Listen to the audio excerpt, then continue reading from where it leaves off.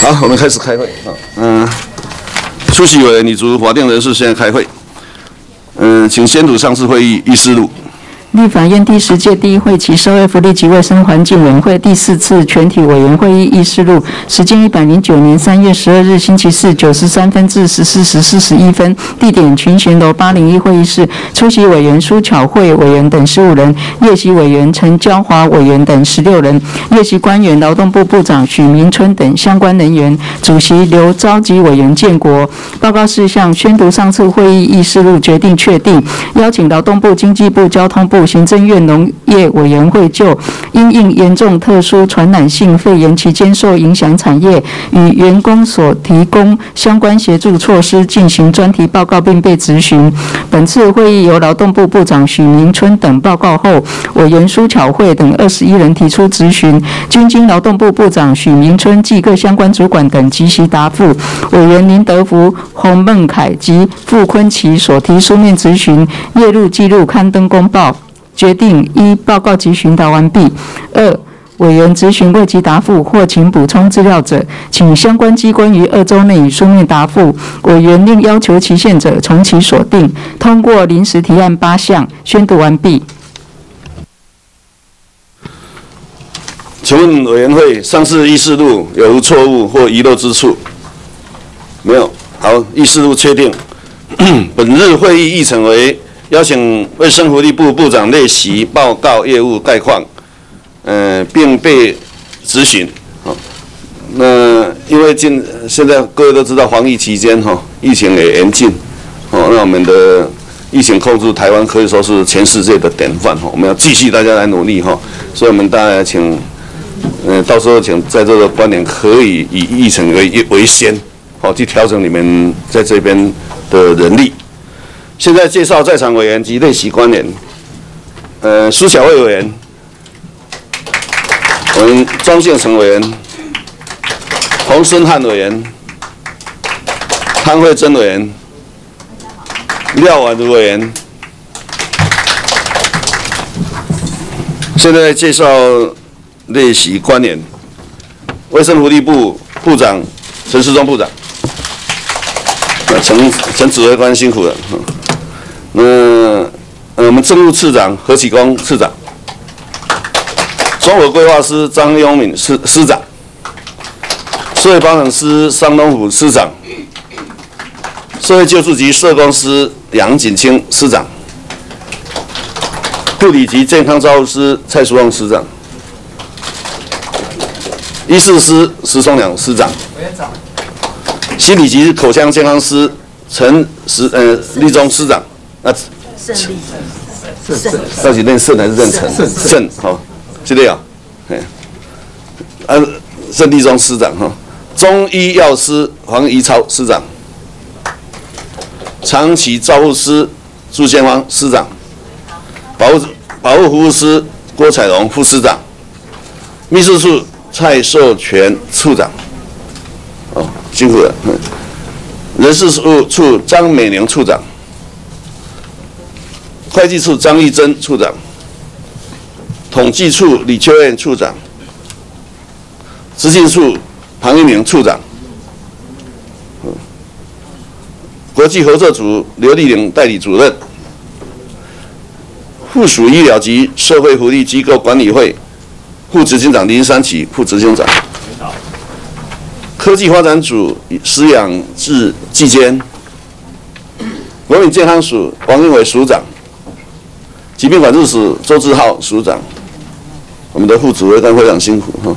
食品药物管理署吴秀美署长，中央保健康保险署李伯章署长，社会及家庭署简慧坚署长，国家卫生研究院副院长司徒惠刚，嗯，研花辛苦了哈。国家中医药研究所苏一章所长，不晓得没有遗漏的。好，那我们现在，嗯，接下来就请卫福部陈松部长报告。部长，请。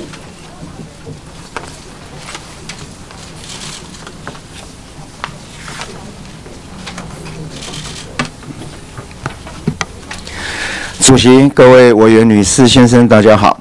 今天大院第十届第一会期社会福利及卫生环境委员会召开全体委员会议。好，那本部呈交一第二期报告，深感荣幸。好，本部一百零八年下半年度重要工作推动情况及未来工作重点等详细资料，敬请参阅书面。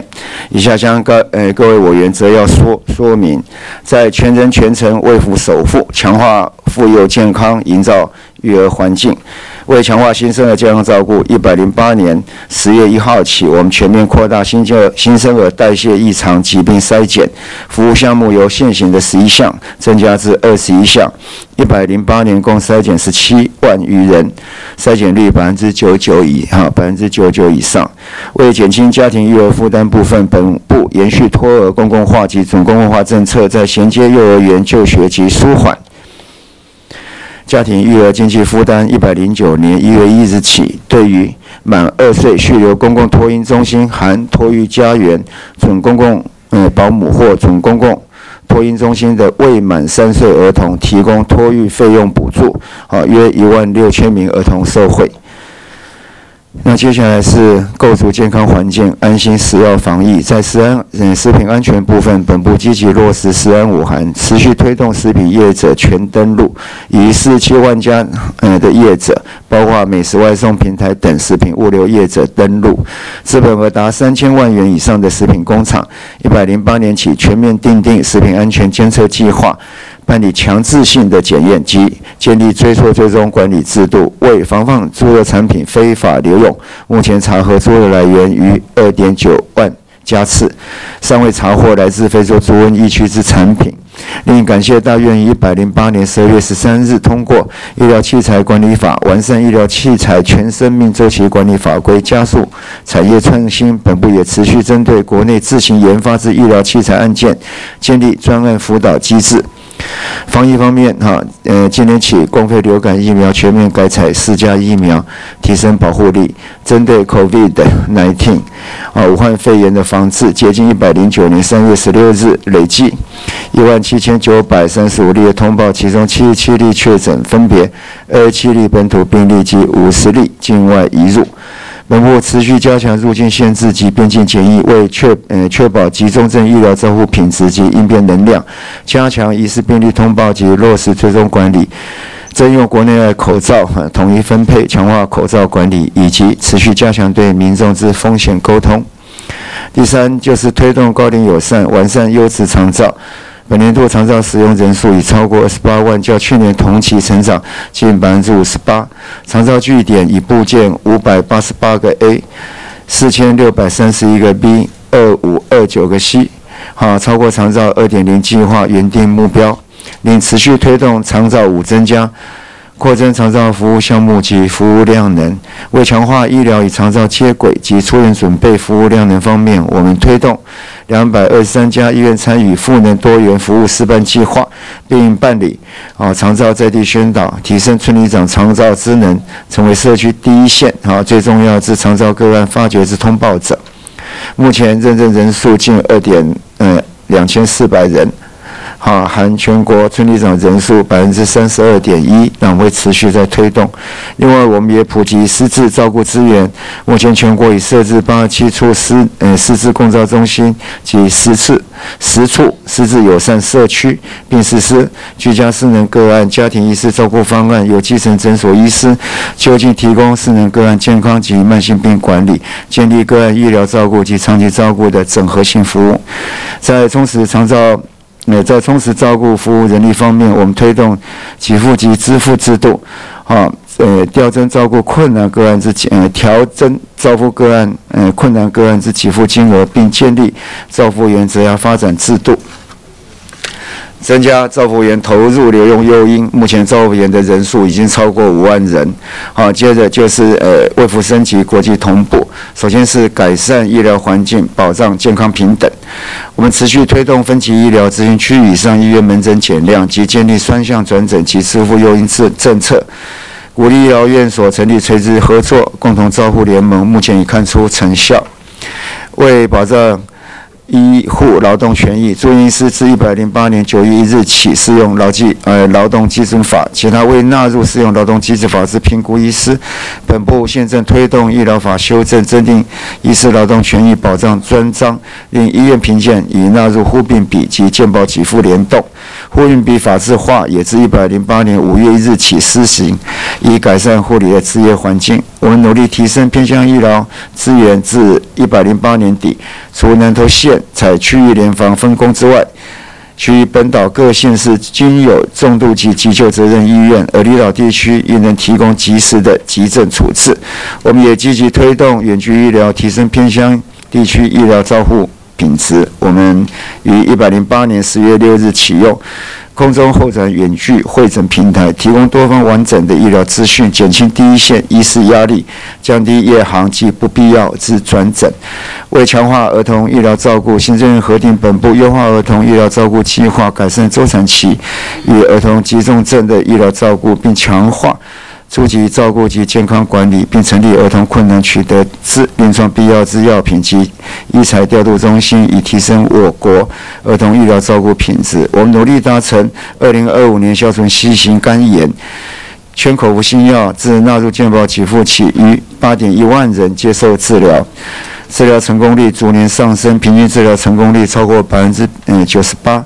一百零九年预算再扩大为八十一点六六亿元，可呃可再使五点呃五万多人受惠，并建立全国新型肝炎风险浅示地图，以利各界投入呃资源消除吸肝。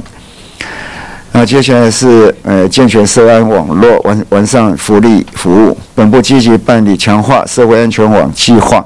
建立集中拍案窗口，提供以家庭为核心、社区为基础的整合性服务。我们也努力完善社工专业制度，调整公安部门及补助民间部门社工薪资结构，以强化社工职业安全各项措施。本部持续落实行政院新生代反毒策略，目前建制六家整合性药引医疗示范中新，发展多元服务方案，同时充实个案及督导人。人力一百零八年毒品危害防治中心的案量比率，哦，服务的案量比例呃降至一比六十，并建立以家庭为中心的药引家庭支持服务，连接多元资源，促进药引者富贵社会。为让孩子脱离世代贫穷，我们办理儿童与少年未来教育及发展账户，自一百零八年三月起，增加四大超商及农业会等存款管道。让民众可就近存款。嗯，截至一百零八年十二月底，已于一点一万人申请，申请开户率为百分之四十九。最后是强化嗯，卫福科研嗯，深化国际参与。在医药研发方面，本部推动医疗卫生、药物、食品、升级相关科技计划，并将创新嗯医药研发技术成果转移至国内产业，加速现有国内。医药升级研发，我们并加强推动新南向政策，医卫合作及啊产业链的发展，建立新南向医卫及产业链结，输出我国健康产业。本部一国一中心计划，一百零八年起，嗯，增纳缅甸、文莱，由马来西亚兼辖，委托国内优秀医疗团队办理，并持续与新南向国家进行防疫嗯医药的医药品。传统医学等交流合作，深化双边的合合合作的关系。以上为一百零八年下半年度本部的主要的施政及未来施政的规划。那很抱歉，那等等一下施政报告完，你可能就要离开哈。那跟各位也报告进来的疫情哈，事实上是非常的严峻。那从开始的时候，大家从世界的情况来看，哈，世界的情况大概现在已经有到了。十七哈，大概十诶十九哈，应该是通报的个案确诊个案已经到达快要破二十万了，死亡的人数也快要破八千人哈。那我们看看当年在 SARS 的时候，事实上世界上被感染到的确诊的大概是七千多人，死亡也七百七十四人。那其实我们这个啊这样的一个新兴的一个哈病毒，好在二月八号就已经破八八百人，就比 SARS 的时候还死亡的人还要多。那台湾第一波，我们在这亚洲相关的一个情况里面，好，那我们大概也防疫也做得不错，那所以还维维持基本稳定。那那时候我们就预估在第二波，哈，应该是从欧洲这边会回来。那那时候我们是预估到会从欧洲回来，但是也确实也必须要承认，我们没有估计到会快到这样的一个情况。哈，事实上那个速度哈，可以说是以超惊人的速度在在传染中。那本来也信任在欧洲里面基本的一个工位体系跟医疗的体系，不至于这么快的一个崩盘，但显然是崩盘的。好，所以在未来里面这几天，我们就非常的。好，积极的跟各地来联络，那强化我们境外的哈建边境的一个管制。那现在我们大概对于边境管制也不得不哈，在有限的经济活动跟外交公务的活动之下，我们可能会啊做全面性的监管。我们可能会做全面性的监管，这是不得已的措施，但我们不会把必要的啊必要的，大家一些重要的一些哈建设重要的一些活活动。那怎么样能够让那？但是基本进来都要居家检疫十四天呢，这都不可免的哈。不管是怎么样再重要的一个活动，那只是说在居家检疫十四天，怎么样在这居家前他能够办理重要的公务，怎么样做适当的隔离、全隔离的保护，哦，来进行相关的活动，好，大概是我们现在在演绎的一个方向。那在外在台湾，我们持续不断的在这段时间虽然病例增加的非常非常的快速了哈。大概我们大概有一段时间，大概就是我们的本土案例二十七例，那境外这移入二十五例，好，那时候是我们首呃首度从境内的案案例多于境外移入的案例，但是很快的，我们那个二七案例一直都没有动，哦，那快速的我们就到境外移入的是五十例，那今天还会更多了，哦，今天当然会更多，这这几天都一定会更多了，哦，那这两个礼拜是我们非常一个危险的抗疫期，好，所以也很抱歉。好，只能跟大家做一些简短的报告，但是还有很多的事务必须要处理。我每宣布一个政策，其实后面需要很多很多的一些沟通协调，跟一些细节在执行面里面能够让它更完善。好，那我们会以这个为主了哈，尤其这两个礼拜，我们完全没有松松懈的本钱，我们必须要努力。那以上跟各位做这样报告，也谢谢委员会长期支持本部，谢谢，谢谢各位委员。我们非常谢谢部长，哦的精要的把卫福部，哦其实一直在做，以及未来要做的跟大家报告哈。那也感谢我们部长陈指挥官，哈那个可以说这一段时间的辛苦。那这一波刚好要冲进来的哈，所以我想大家都是严阵以待哈。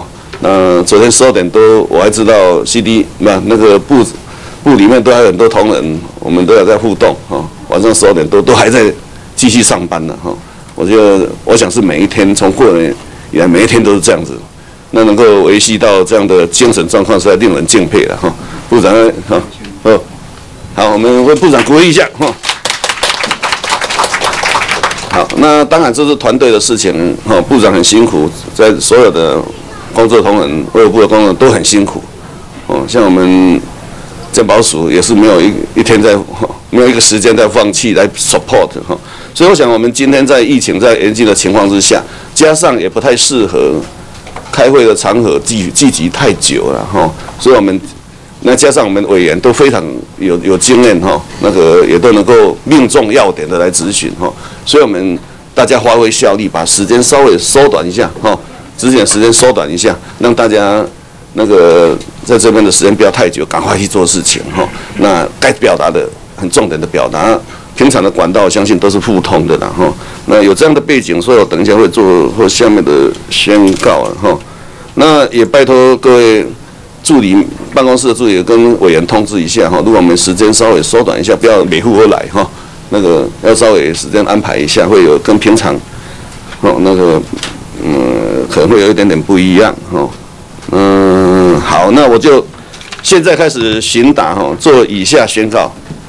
一，本会呃委员询答时间六加二分钟，列席委员四加一分钟。二，十点三十分截止发言登记。三，委员如有书面执行，请于散会前提出，逾期不受理。四，暂定十点三十分休息十分钟。嗯，五，十一点三十分处理临时提案。六，执行时请各位委员使用消毒过的。无线麦克风发言，使用后请放置回收盒。啊，根据前几天的经验，我们委员都会抓错根的哈，所以那个稍微同仁要指点一下哈，常常抓到已经有过的哈，所以稍微指点一下。好，那就请大家尽量能够准时来哈，在时间里面来发挥你们的一言九鼎的执行的精神哈。好，那现在那个登呃，现在开始询答哈。现在请登记第一位的张建成委员发言，庄委员请。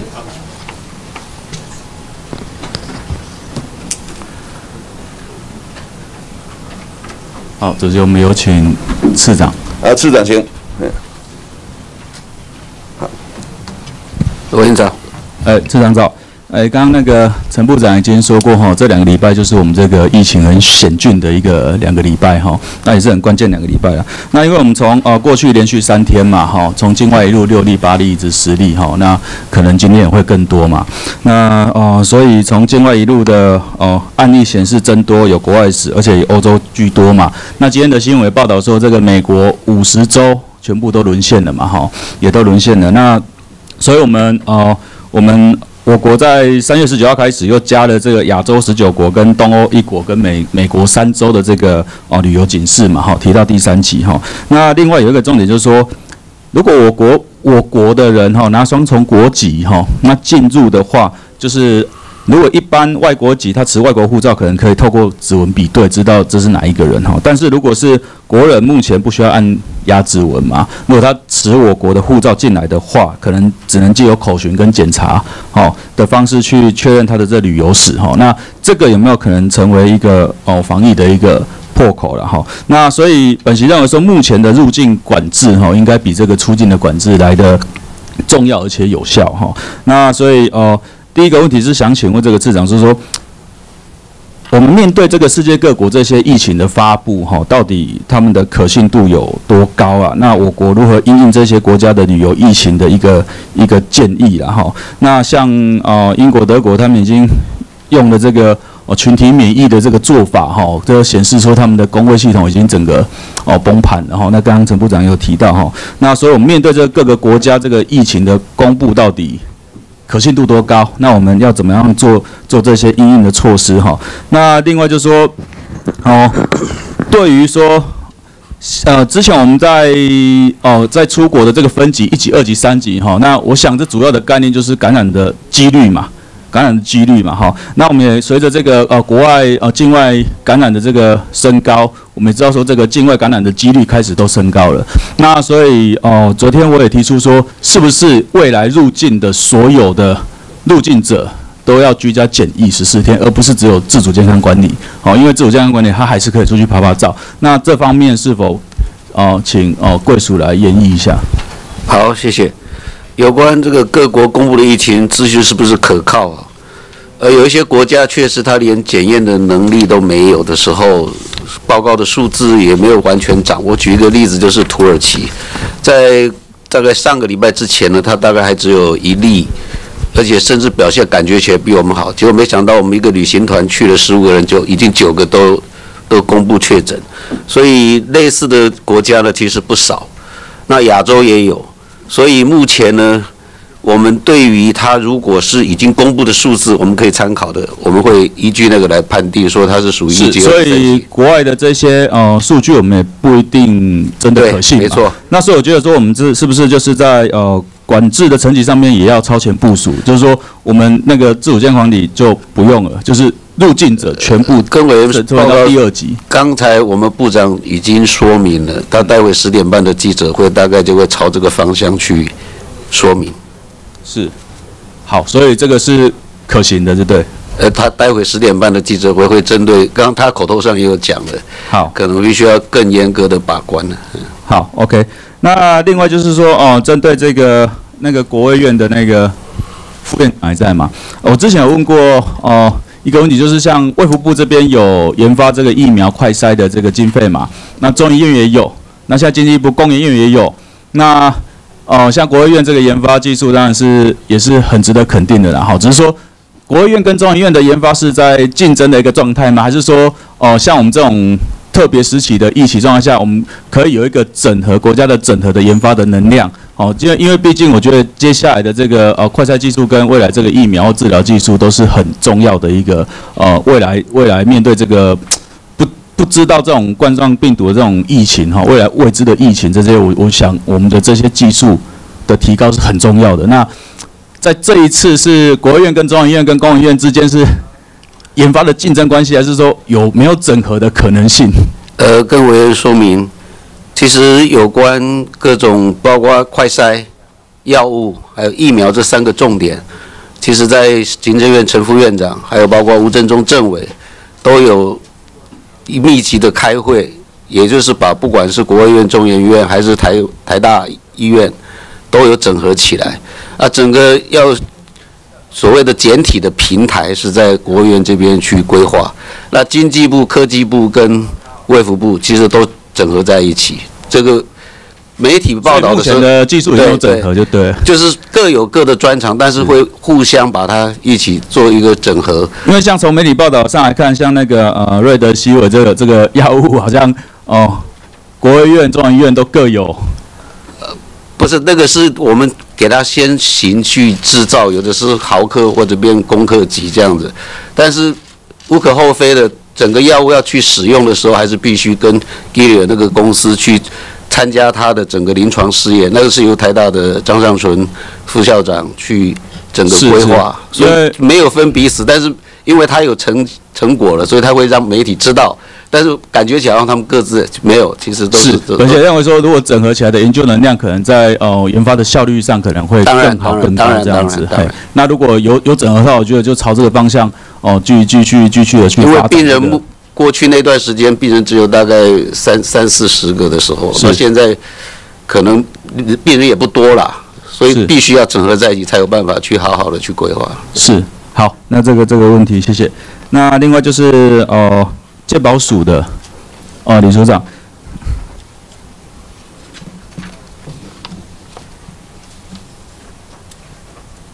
好，委员好。哎，所长好，那个所长，昨天我在院会的那个总咨询上面有提到这个鉴保费的这个问题了哈。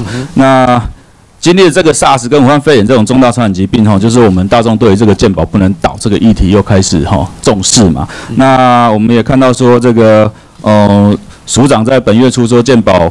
财务可能会在亮红灯了哈，那是不是有调整的可能性呢？那我觉得呃，这样的说法是说，这样的秩序会不会造成哦、民众的误解和恐慌？就是本席想在这边再请贵部说明一下目前健保的财务状况。那另外说健保的那个呃，是不是要扩大这个保险哦计费的一个基础？哈、那是不是有朝向这个加户总所得这个哦健保三点零这个方向来进行？本署有没有这样的一个呃贵署有没有这样的一个规划？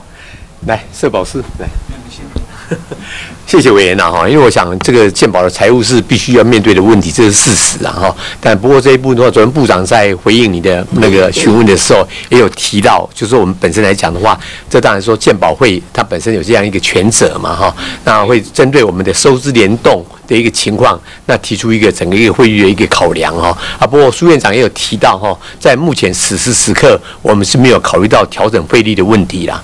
啊，不过我是觉得说，昨天也提到说，在过去的一段时间，我们在推动分级医疗哈，那我们市场是采取朝向就是节省不必要的浪费哈，那的方向在努力。嘿是，那、如果交付总所的这方面的评估，可不可以请贵署哎那这个要之后给我一哎哎提提一些书面资料给我，OK 啦 OK 嘿，好好吧，，OK，好，谢谢，好，谢谢。委员。好，嗯、我们非常谢谢张委员这么准时的执行，又这么重要的执行，谢谢。好，我们接下来请呃苏巧慧委员询答，苏委员请。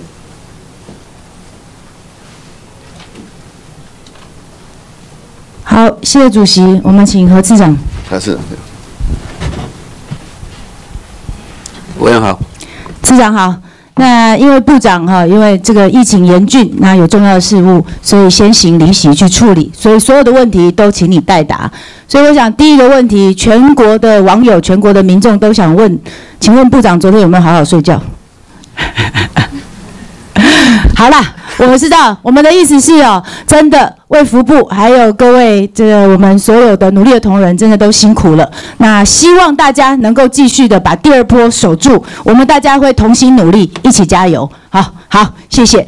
那再来次长，我真的很高兴，刚刚在部长离开之前，已经听到有这么重要的宣誓，而且您刚刚也说，即将在十点三十分的时候会有记者会，对于我们的边境管理会再度加强。因为我的第一题啦，你看下个密密麻麻，哈，都是要跟你讲，真的，昨天部长说几乎了。这个全部的国境要有更强的管理，甚至就是国境封闭，这样的几乎了是什么意思？因为我们台湾从去年的十二月三十一号，甚至还没有总统大选投票的时候，我们就已经开始超前部署，对所有的边际做非常大大的。管理，以至于我们能够守住第一波。但是随着疫情一波波到现在，其实其实现在已经有马来西亚、加拿大等十五国都已经对自己的国境做了关闭，也就是继续维持境边境管理、境外阻绝这样的概念。那么到这个时间来讲，台湾。过去超前，那么相对来讲，我们是不是有所不足？所以所有的国人都在问啊，咱什么时阵要做这个决定？很高兴刚刚听到十点三十应该会有重要的宣布，我们在这里期待细节。但我们继续追问，次长，边境管理就算是国境封闭，也是对外国人禁止进入。而对于我们自己的国人，也就是台湾的全体国人同胞，包括留学生也好，包括台商也好，包括世界各地的旅客也好，台湾人终喜爱邓来台湾。我们现在全世界都说回家最安全，所以大量的台湾同胞要回来，甚至机票再买不到。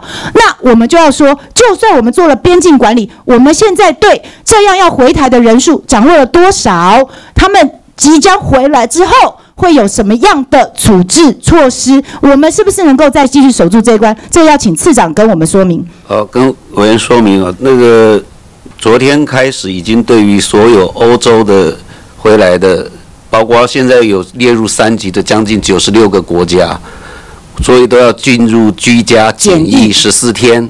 所以这是包括回国的国人嘛，对不对？另外，今天我们还有一件事情是。过去十四天从欧洲回来的，就是所有溯源、溯源、溯源管理，对，也都要进行这样。过去那段时间，包括警政、卫政还有民政，对于所有居家检疫的，不管是用我们的医化的一些工具，大概都建制好了。是，所以我们这目前呢，大概就把这些建制好的一个用工具呢，会使用在。回溯性的那个，也就是说，接下来我们十点半可能要宣布的，就是第一再次加强、更强度提升的我们的边境管理。但回国的国人同胞们，这些一定要做居家检疫，而且是回溯溯源，把范围更扩大。但其实我赞成刚刚庄委员说的，事实上我们现在如果是只有针对第三级的地区回来的才做居家检疫的话，也许还有破口。所以我赞同庄继成庄委员的说法，也许我们可。所以随着疫情的变化，在做更大的范围要求，要求所有的曾经旅外的这个，不管是国人同胞也好，或者因为你做了边境管理之后有产生影响的人，适度的再加强，这点次长应该是可以演绎吧。这是一点爱啦，应该是十点半也会一起说明。好，我再次说，本席赞成这样加强的边境管理。我认为这是考量台湾的检疫量能。既然我们欢迎国人同胞要回来，他们会带回来的风险有多高？呃，不知道。但不论多高，我们都一定要协助来处理。所以我们的检疫量能也好，医疗量能也好，应该要用在这一些反国的国人同胞身上。因此，本席在这里公开表示，我会赞成这样加强的边境管理。这是我们的第一题哦。谢谢部长，呃，谢谢次长哈。那第二，接下来我们要问的是说，其实随着疫情的发展，我认为这已经不是实体的防疫战而已，这甚至进行到了舆论战。资讯战、新闻战的部分，大家可以看到，中国它现在号称对外宣传说它的疫情已经都获得了控制哦，所以呢，它不但是控制了自己，而且它提出了一个大外宣计划，因东然不公改的是大外宣呐，但很明显的，他提出了三点。第一个呢，他说疫情不是在我这里，这是美军来的带来的，他推卸疫情责任。第二个，他推广中国防疫模式。第三个，他说这个我现在要对全世界提供了这样的防疫的捐助，他等于是哦。其实我看到国内现在竟然也有媒体也开始采用这样的论述，就是中国牺牲了自己，中国牺牲了自己，帮全台全世界争取到两个月的时间，让全世界有能量、有时间去对抗这种神秘的新兴病毒。市长，你同意这种说法吗？当然不同意。市长，你觉得中国的疫情获得控制了吗？呃，他很多媒体。至少他没有管控到的消息是说他封了解封又在封，所以这个反反复复的动作就知道他的状况其实一直都不稳定。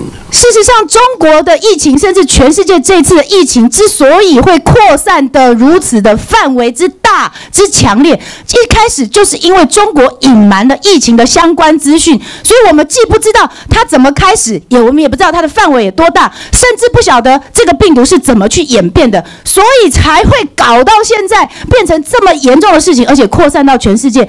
现在它竟然可以倒过来说，是他牺牲了自己，为全世界争取到两个月的时间。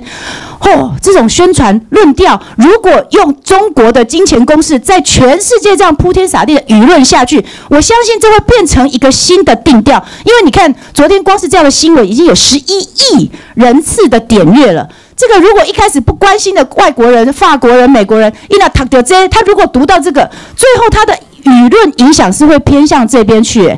那过去台湾的努力，现在我们说有二十三个国家对台湾说我们做的很好，甚至今天连连我们小时候看长大的 Ricky Martin 啊，甚至是很多的明星都说台湾模式很好，各国总理纽西兰也都说台湾很棒。但如果我们没有加强这一块的话，我会认为，我们真的有可能，我们的优势，我们过去累积的努力，我们所做到的防护贡献，会在这一波被消失。因此，我在这里非常具体的建议，甚至是要求：第一，据我所知，台大工卫学院。台大的工卫学院在今年四月，也就是下个月，已经确定要举行国际防疫线上论坛。这是台湾的这个学者学界非常非常重要的这些老师们，他们愿意集合在一起，把台湾所有的医疗、工卫政策、经济产业等面向，要召集所有的国际组织、国际的专家学者一起来做这样的线上讨论，而且全程直播。我觉得这是一件很重要的事情。那他虽然民间发起，我们是不是可以请次长在这里承？诺其实应该要给予更多的协助。我认为这个台大工卫学院这是一件非常好的事情。当然，当然嘛，哈。那第二，我也想再建议哦，这是第一个，我认为应该要主动召开线上的交流研讨会。第二个，我认为卫福部这边可以去带动，要求整合各个部会，像是外交部、经济部等，把这些资讯呢整理出来，变成是有外文的系统，可以让。第三个，全球的台湾人一起把台湾的防疫成果进程，让更多的人知道台湾 can help，这是我们真正做到也在努力的事情。我希望卫福部可以不只是实体的防疫的过程，甚至是连下一阶段的舆论战、新闻战，我们都希望卫福部能够超前部署，让台湾真正能够在这一次站稳脚跟，被世界看到。呃，跟委员说明，目前在每日例行的记者会，其实外国国际的媒体越来越多。非常好。第二个，我们实际上 CDC 有个网站，它是可以用英文的。我们所有的防疫工作非常好，都有那个网站，可我都那个把那个网站呢再往外去。我认为，我认为这个可能卫福部的人员已经很辛苦了，也许是整合外交部或经济部等等，让这样的资讯可以用不同的外文更容易的被传递到全世界。这是我的期待，也是我的建议。我希望全球的台湾人都可以一起动起来，帮助我们自己的国家，不但是实体防护的这个保护罩站好。甚至是连舆论战都能够站稳，谢谢大家。好，我们谢谢苏委员、谢市长。好，我们接下来请吴思怀委员巡答，委员请。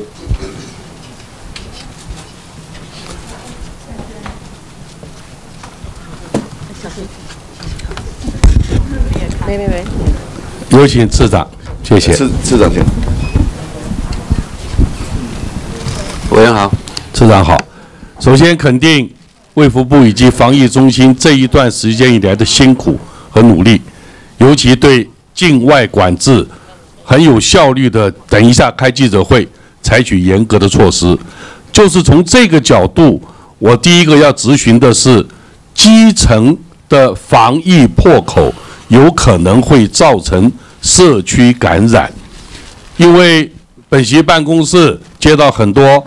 村里长、李干事的电话，我就回去，在我们树林区甘源里里长到我社区来告诉我，现在的防疫管控措施在基层有一个主要的缺口，就是时间差。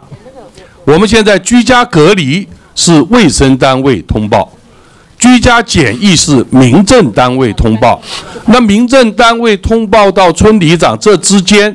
有三天的时间差，昨天的媒体也报道，台北市我去看了，桃园、台南我们都去查访，都有这个现象。我们希望从中央到地方，我举一个例子，我们甘源里树林区甘源里是台北大学这边一个新兴社区，十几个大型的社区，四百多户到八百多户不等，是。树林区最大的里里面一万六千多人，那么实际知道两到三个案例是，他已经被通知居家隔离，三天以后李干事才知道，通知我们的里长，那我们这位里长非常认真，就很惊慌，这三天这个人到哪里去了？各位都了解，新兴的社区几百户，他居家隔离，他家里有四个人，就五个人在一起。他有没有家里人都跟着戴口罩？他在社区公共设施去参加各种活动，因为社区不知道，管委会也不知道，因为要各司的问题。可是因为不知道，造成如果这个社区八百户被感染，那就是很典型的社区感染。那么那种密集式住宅社区的一个北大特区，大家都要去超商买东西，去家乐福买东西。那个影响起来不是开玩笑，所以我希望卫福部从这个角度，不同系统怎么整合，让这个机制通报不要产生时间差，是不是？市长能回答一下？啊，谢谢委员的指教。我在这边特别要感谢全国的里长、里干事们加入防疫的团队，帮我们一起来做居家检疫这部分的工作。那有关刚刚特别提的一些案例呢，其实在早期用纸本的时候，或者是民众填写的资料不全，确实会有一些状况发生。那经过这段时间的努力呢，其实我们尽量把它一化。现在整个线上申报的也有已经达到六十 percent 到七十 percent 的使用，所以目前我们的目标是瞄到不是瞄准到不是只有三天，是希望二十四小时就可以从我们边境管制的到卫政跟民政可以都知道这些讯息。我希望卫福部能采取更具体的措施，因为不是有纾困条例吗？那么经费不够，扩增一些人临时性的人员，是用电话。其实很多村里干事，我所知道，他并不是那么会使用医化的东西。但是现在因为从外面欧美在境外回来的这些人，回到社区两天到三天，我们才知道，又有各自保护。所以我问我们的社区管委会主任，他说他不知道我们社区已经有人居家隔离了。那他这个整个电梯间公社的，现在我们我所知道的很多社区都把公社全部封闭了，就是怕社区感染。所以我觉得这个的时效性，请卫福部要注意，好不好？我们滚动式的已经在处理这件事情。好，我第二个问题就是问，最近已经媒体炒作了，非必要。去这些第三级国家，那么这个定义要讲清楚。我觉得，呃，指挥官已经讲得够清楚，但是希望在法律用语上，让所有的民众知道什么叫非必要，而不是说依个案我们再来认定，那么给人民一个不确定的因素，会造成很多未来的法律争端。这一点提醒卫福部。跟防疫指挥中心要注意，好吗？好，谢谢委员。我们今天晚上六点是会针对这个事情再做一次的会议。是希望做更明确的定义，把这个非必要把它讲得更清楚。第三个问题是提醒我为第一线的这些医护也好、抗疫的人员说几句话。现在防疫中心做得很好，把第一线医护都有补助，每日预定是一万元给医生跟护士、护理师。但是第一线不止他们，清洁工、保全、志工，还有检验的这个筛检师等等。那么我晓得卫福部已经有考量，我希望尽快，因为这些人都属于第一线的工作同仁，他有接受不同的待遇，他也有很高的感染风险，希望能尽快将不同的第一线做哪些补助，很明确的告知，让他们安心。是不是请卫福部简单说明一下？是有关委员刚刚所建议的，我们都有充分的在讨论准备，可能事实我们就会再做一个说明。大概什么时间可以公告相关的补助？呃，呃，跟委员报告，呃，就如同委员所指出的，其实医疗是一个团队，那么包含第一线的医师人员，也包含很多其他的工作人员，所以我们目前的规划方向，除了第一线直接照顾者的医师跟护理人员之外，那么裁剪的时候，那么相相对是风险比较高的，所以我们有所谓的风险津贴。那么另外呢，整个团队的绩效，我们会根据整个收治情形，还有它的这个呃防疫的表现，会有个团体绩效。那中间有一定的比例，一定要让第一线的人员分配到。好，我希望把第一线的人员的分类定义一定要做到很周延，不要让那些清洁工、很底层的保全、志工产生说我在第一线那么危险都没有考虑到我，请特别注意这一点。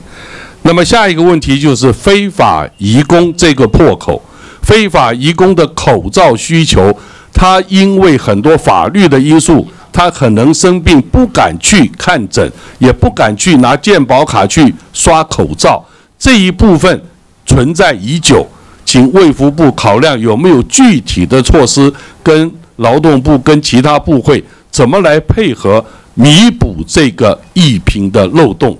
好不好？谢谢委员，这部分我们已经跟劳动部在处理当中。好，我希望有效率，因为我们现在外面传进来的疫情非常严峻，我们里面自己的把关很重要。呃，最后我再提一个问题，这两天接到很多台商给我办公室的电话，我们武汉的这些台湾同胞们，第三次包机什么时候可以成型？或者是不是能考虑把他们被驻记管制这个事情取消？即便他现在完全没有问题了，他也不能到任何大陆其他城市可以飞回来的回去，因为他被驻记了。所以这个部分他们已经等了很久了，只有一句话：我们想要回家。我希望疫情指挥中心在这一方面效率能够快一点，要不你就尽快第三趟包机，要不你就把它驻记消除，他自己想办法回来，而不是摆到那边让他们自己去，那种感觉对我们的同胞是不好的。请卫福部转达指挥中心尽快处理，好吗？好，好，谢谢，谢谢市长。好，谢谢吴委员，谢谢次长，谢谢。好，我们接下来请廖婉如委员询答。廖委员，请。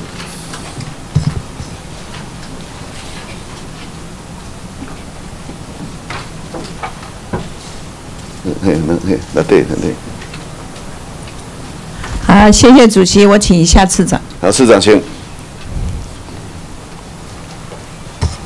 委员好。哎，次长辛苦了哈，部长那个来去匆匆啊，有重要事情。那我想针对卫福部哈这次的防疫的问题，我想请教一下。最近呃，部长一直在呼吁了哈，呃，说没有必要的话，不要跑去第三级警告的地方。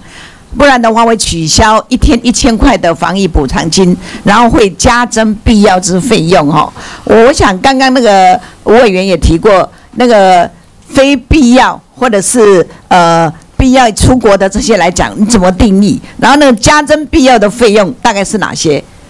那个卫福部定了没有？呃，今天晚上六点会针对这个我们这张 PowerPoint 的的部分来做因为现在我们面临的大部分都是境外移入的哈，这个这个那个确诊病例为主。但是现在我们也知道，呃，昨天的新闻呢，几乎那个在海那个海外就是国外的留学生来讲，几乎将近六七万个人，他们都急着想回家，只是买不到机票，因为很多停航了哈。所以这些来讲，对他们来讲也是一种一种负担，可能要更明确一点点啊。尤其在防疫当中，这些呃欧洲的留学生来讲，对我们如果说回到国内的一些呃居家检疫的问题等等，我想那个我们卫福部都要做非常呃那个完善的一个一个规划，不然的话，一下几万人进来的话，说真的，呃。真的可能会像我们部长所讲的哦，会会不会有社区感染？包括未来能不能那个禁止入境啊，这些都是几乎快到了时间了哦。这个都在我们那你说十点半对要开记者会，我想我们也要听一听这些消息，等一下赶回去听了哈。第二点，我想问一下哈，那个英国的首相强生有讲说，他们放任民众染病了，有一种群体免疫。那这种这种是在医疗界上是可以的吗？在台湾可能会变成这样子的处理方式吗？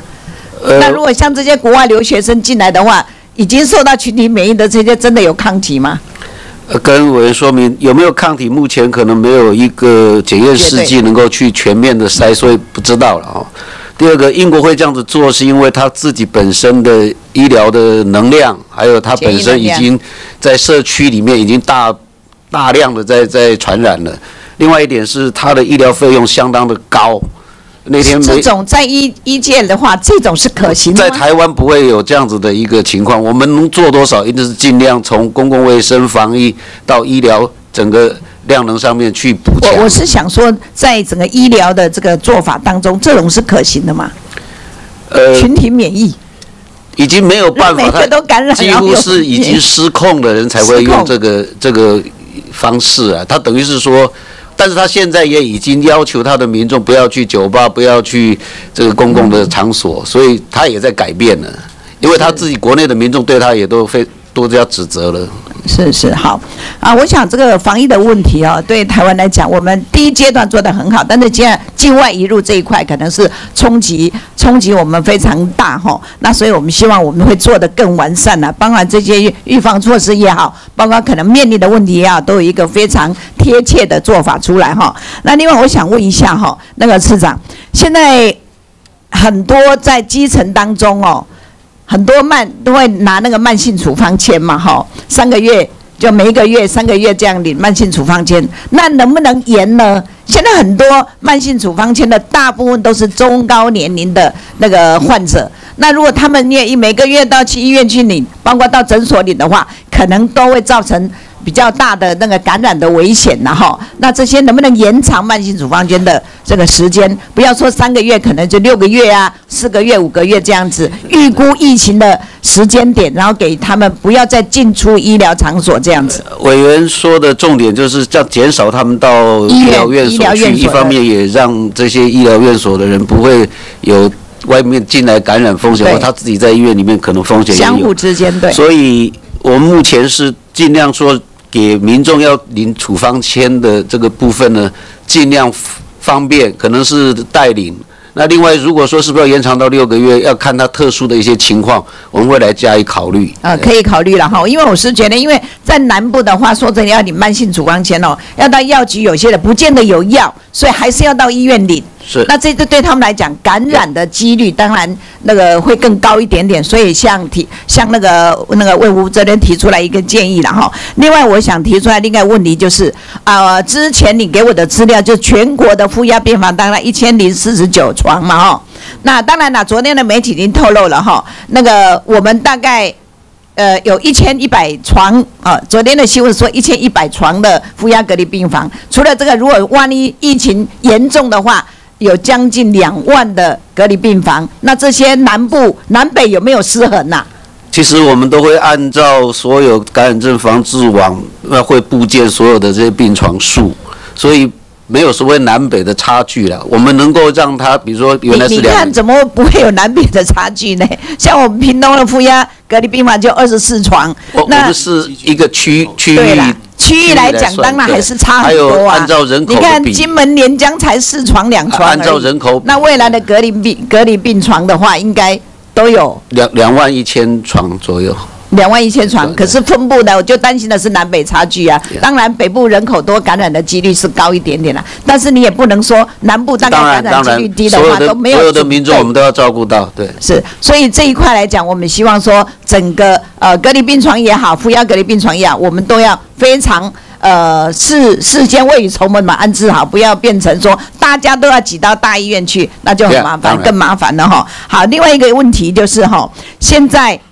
很多慢性处方签，包括现在大家讲说药，很多原料是来自于中国大陆，所以现在很多药局讲，我们我刚刚讲的，我们南部地区要领药，可能要到药局，好、可能要到医疗院所，那药可以到药局领的，常常是没有办法备那么多药，所以药局担心是，不是不是防疫的问题，是要领药时候药没有了，那才要命啊。那呃那有没有这个可能性呢？各位目前来讲说明，目前大概从医院或者相关的单位，我们都要求他备药至少有六个月的安全存量啊。一般药局也是，药局的话，因为它的储存空间有限，对。但是我们有一个机制，就是说你真的会缺药的时候，你可以通报到我们食药署，食药署会去协协调，这个药师工会或者其他的那个药商去处理这件事情。没有问题，就是，目前都 OK。应该现在尤其慢性处方签，有些真的是中中高年龄层的哈，他的慢性处方签，如果一些用药啊，或者是心血管的药啊，或者是一些三高的药，如果真的断的话，真的也是另外一种麻烦了，不是防疫的问题，是另外一种疾病的发生哦。所以我讲这一块。那个卫福部也要特别注意。另外一个哈，你在整个报告当中有一个偏向医疗的资源哦，我想本席来自于屏东县呐哈，属立屏东医院。恒春旅游医院，你现在是旅游医院，但是我觉得，当然现在我在新建呐，哈，什么时候完成？恒春旅游医院的新建工程，目前我请那个医福会副好副执行长来说明一下。哎，委员好，啊，目前还在呃招标中。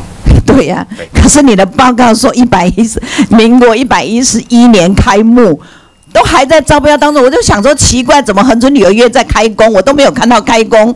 结果还在招标当中，可是你这边已经说预算都有了四亿多啦，多少钱多少钱盖地下一层地上，哪有病床几床，对，是。我是觉得报告怎么跟你现在差距，还没还在招标当中，但是你报告当中已经说已经已经要开幕了啦，快完成快完工了，我想差距太大了吧？还是我看错？呃，跟委员报告，那个是 我们是委托营营建署来代为处理哈。那这所以你写报告的时候也不晓得进度吗？哎那也太离谱了吧！是之前的计划，哎，之前的计划照写、照抄、照 copy、照贴就对了。所以我想这一块哈、屏东是一个偏乡，尤其恒春旅游也是偏乡。虽然有垦丁国家公园，很多旅游的医院啊、旅游旅游旅游的观光人口非常多，但是一直强化，我们一直强化说，未来在医疗上，尤其尤其观光地方有交通事故很多的，重症的也好，或者是呃那个一些意外伤害的，都要后送。但是呢，医疗非常缺，不仅仅是恒春哦，我希望说为那个卫护部这里呢特别关注一下，蜀平也是一样。我举一个例子就好了，那个主席不好意思哈、我那时候手在脱皮啊，我那时候到义大，高雄义大，从屏东到义大看哦，因为他说你要照光，照一些什么多少波的照光哈、那个邱主席一直在点头了哈、然后呢，我开一个小时到高雄照三十秒。我想这怎么行？我后来到蜀平说有没有照光，他说有皮肤科有照光，就呢，蜀立屏东医院没有照光机，是全身照光机，为为了照手，我要从头包到脚，然后全部护照照起来，用冬天的衣服照起来，然后手伸出来给他照三十秒到一分钟，慢慢加长，加长。后来我到一个朋友非常知名的委员的哥哥那里，朋友他的照光机是像一个梳子一样自己照。我说哦，啊，照光机怎么差那么多啊？所以呢，到蜀平医院，那个屏东医院就跟我讲，委员你帮我照，不是那时候我还没有当委员，他说，哎呦，真的很希望有立法委员帮我们申请手部的照光机。我们全属平医院只有全身的照光机，所以我要照手，要照哪个部位，要全部包起来，露出那个地方而已。我想这个就是设备上的差距，所以我们希望平东那个平东医院的那个设备来讲，偏乡地区的设备来讲，赶快提升，好不好？还有很多细节再跟您请教哈，谢谢。好，那我想我所请教的，希望都能够哈想办法具体的回复哈。呃，医疗上老师要哈，小弟如果能够贡献的，再找我一下哈。那那个好，谢谢谢谢，哦，我们廖委员的询答，我们接下来请洪森汉委员询答，洪委员请。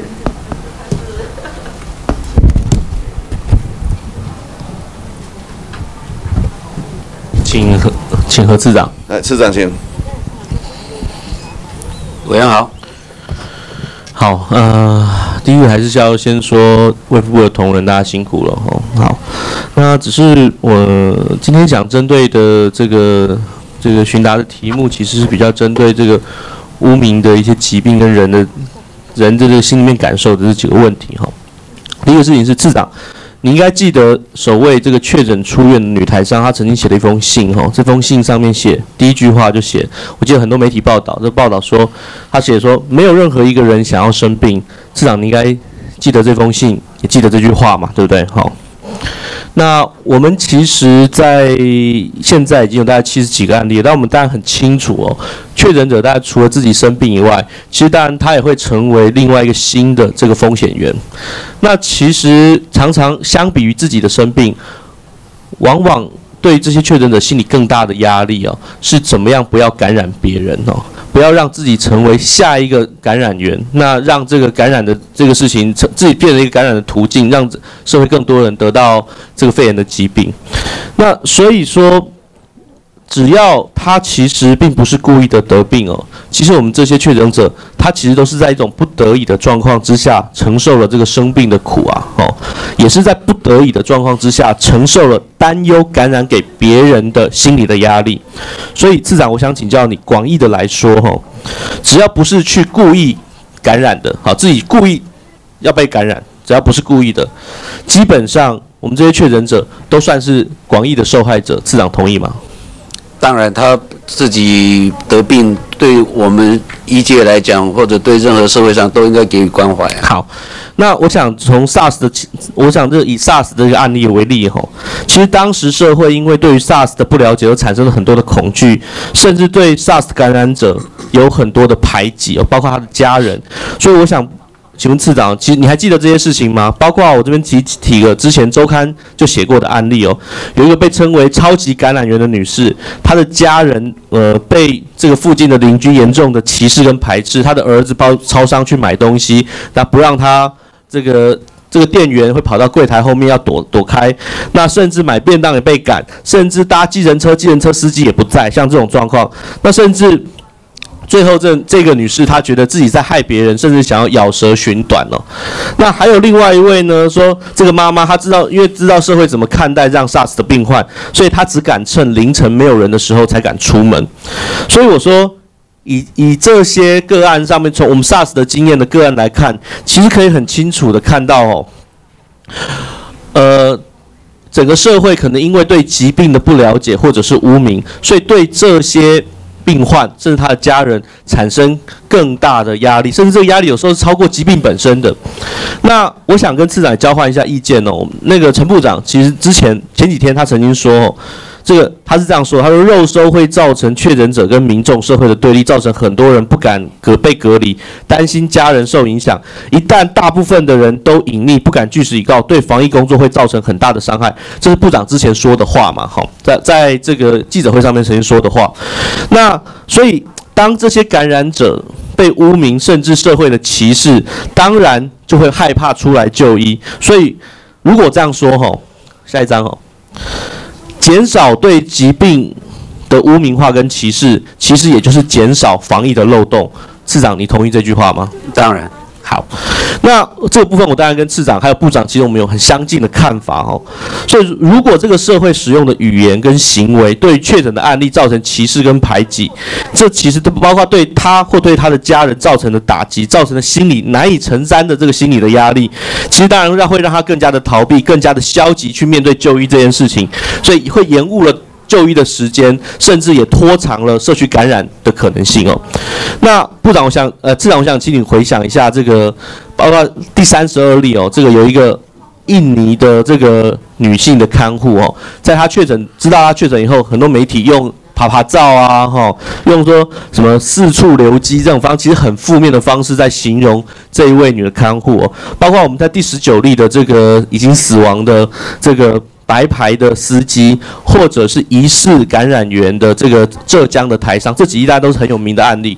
那这几例案例，大家在社会在描述的过程里面，其实一些有意无意的标签化，其实对他产生生病，这个除了他自己生病以外，其实他的心理压力。是真的是比一般的个案来的承受更大的这个压力的状况。其实我们大家知道，这其实对整体的防疫来说都不是一件好事。所以我其实这边想要问次长吼，你觉得在这次我们防疫的过程中，如果社会各界不论对自主健康的管理者，或对于居居家的检疫者，对于居家的隔离者，甚至确诊的案例，是否应该要有一个更？客观持平的描述方式跟对待的方式，其实这个这样比较能够兼顾我们在防疫过程中这些案例、疑似案例或确诊案例的人性的尊严。市长同意吗？呃，跟委员说明，我们部长指挥官在很多的场合说，有些各界要求要公布所有的，包括他的足迹或者那个感染对象这些各自的部分，就是因为考虑到说。类似委员今天所提的，是如果在防疫上有需要，他是刻意逃跑或什么的，我们当然会另外处理。但是对一般的染病的人，其实谁知道每个人都有机会。是，所以这人性其实我相信在台湾是越来越进步的一个社会。所以我在所以我在想说，有没有可能吼？其实希望卫福部可以以这个维护个案的人性的尊严，包括是降低他们心理的压力为主轴。那我觉得我们来做一份给社会大众或者是媒体一个怎么样子对于这些疑似或者是确诊案例的去去污名化的描述跟对待的一个这样的相关的指引。我不知道像这样我这样的建议，卫福部是不是可以来尝试看看做一份这样的指引？我想最近媒体都有固定我们的这个公益频道会播出我们防疫的一些短片。那我想可以把这个题目，我建议回去看是不是朝这部分来做一个短片的说。我很希望不管是不止短片说明，包括是有一个比较操作化，甚至可以找一些社会科学的专家来讨论一个这样的指引的方式，提供媒体或社会大众参考。好，谢谢。好，那接下来一件事情是，市长前几天这卫福部其实也表示哦。非必要前往三级旅游地区的旅游者，哈，那当时卫福部用了一个词叫做“明知故犯者”啦，哈，也就是说，在这个明知故犯者的状况之下，呃，不不会去补贴他的居家检疫的这个补助，甚至也希望也也要他自付这个医疗的费用，甚至重点是后面，如果他确诊的话，会将公布他的姓名，哈，也就是说，希望用比较用舆论的压力来。产生一个贺主性的效果嘛，吼。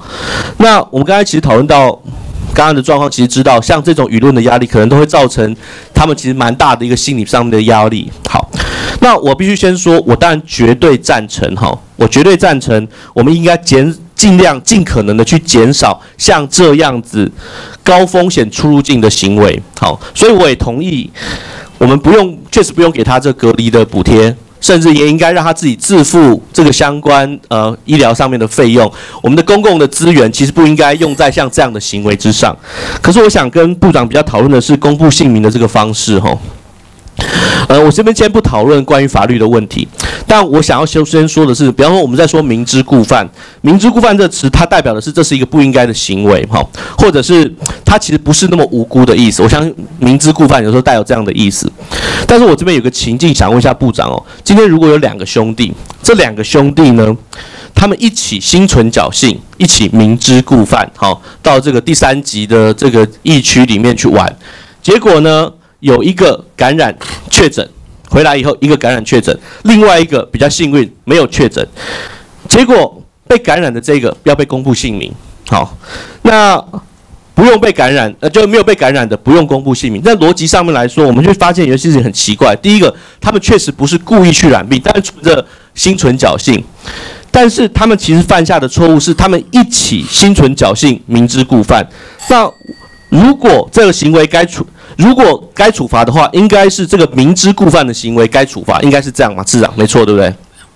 好，可是如果公布行为是一个合适的处罚的方式的话，但是为什么我觉得很奇怪？我们政府的处罚方式应该是针对错误的行为啊，怎么会是在他错误的行为之后，还要看他幸运染病还是没染病，看他的幸运与否，再来表达，再来给他这个处罚的方式？这好像就不太合理。我其实非常非常困惑，我我不知道这个市长能不能回答我的困惑？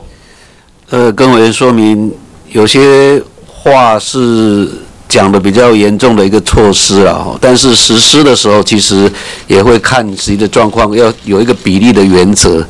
所以委员今天所讲的，在今天晚上六点的时候，我们会针对这些措施再开一次会。是，那我再把委员的意见转达到指挥中心的会议上。是，那我也想提醒，因为刚刚像这样子公布姓名的方式哦，也很有可能会造成，其实他他可能心他自己在这个回国以后居家检疫的期间，他可能想到可能会被公布姓名，而心理巨大的压力，在这种状况，他可能诶有一些轻症的疑似的。这个状况的时候，他可能就会逃避，他可能退缩，延后了就医的时间，反而拖长了他可能感染的家人或者是社区感染的时间。所以，我们表面上面看起来是产生了贺阻力，可是实质上面可能反而产生了这个防疫的破口。所以，我觉得这几上上述这几个理由下来，我很希望市长包括可以带回卫福部记者会中心里面去重新讨论一下。公布姓名这个方式，哈，到底是不是一个适合的措施，是一个适合的处罚？但我必须说，我们当然我自己都赞成，我们尽量减少像这种高风险出入境的状况。那如果他明知故犯，如果心存侥幸，我们公共资源应该减少给他的协助，这我非常非常支持。但是我认为公布姓名的方式有可能会产生更多的问题，这我还不讲法律的问题。那请次长带回去跟部长一起研议，好吗？谢谢委员。好，我们谢谢洪委员，嗯的行党哈，我还是拜托各位委员能够准时哈。那呃，因为我们今天稍早有宣布十点半要休息十分钟哈，让大家可以上上厕所，呃，照顾身身体健康，提升免疫力。那好，那请我们在张玉美委员巡答以后，我们休息十分钟哈，就跟大家宣布一下。接下来我们请徐世荣委员嗯巡答，徐委员请。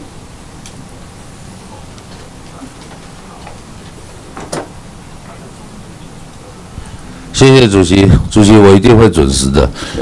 呃，请侯次来次长。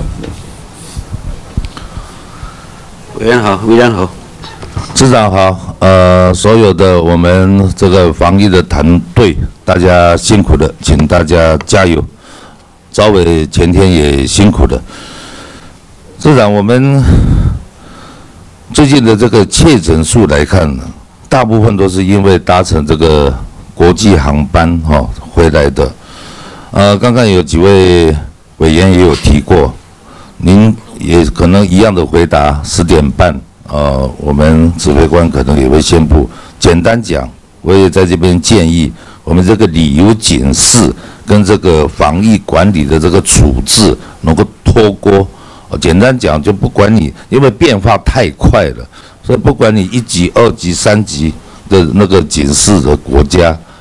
是不是不管本国人、外国人来到台湾，我们就居家检疫十四天哈？呃，这个是给您的一个呃参考了哈。可能等一下会有答案，也不一定。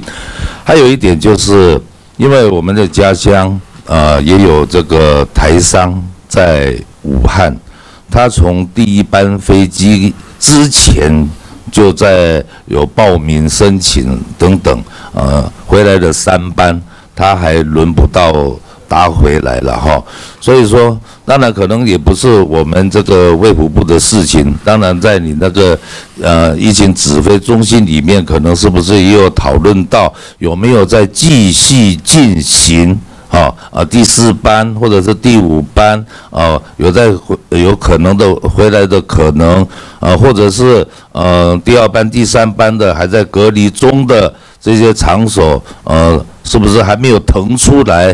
呃，还不能让他们回来，或者是说，呃，就是还还没有腾出来，我们也有还有其他的地方，呃，准备着其他的隔离的这个场所，啊，是不是？呃，请何次您了解的范围内，是不是可以回答一下？好，跟委员说明，我们院长只是几个原则嘛，防疫优先，弱势优先，再加上必须量力而为跟对等。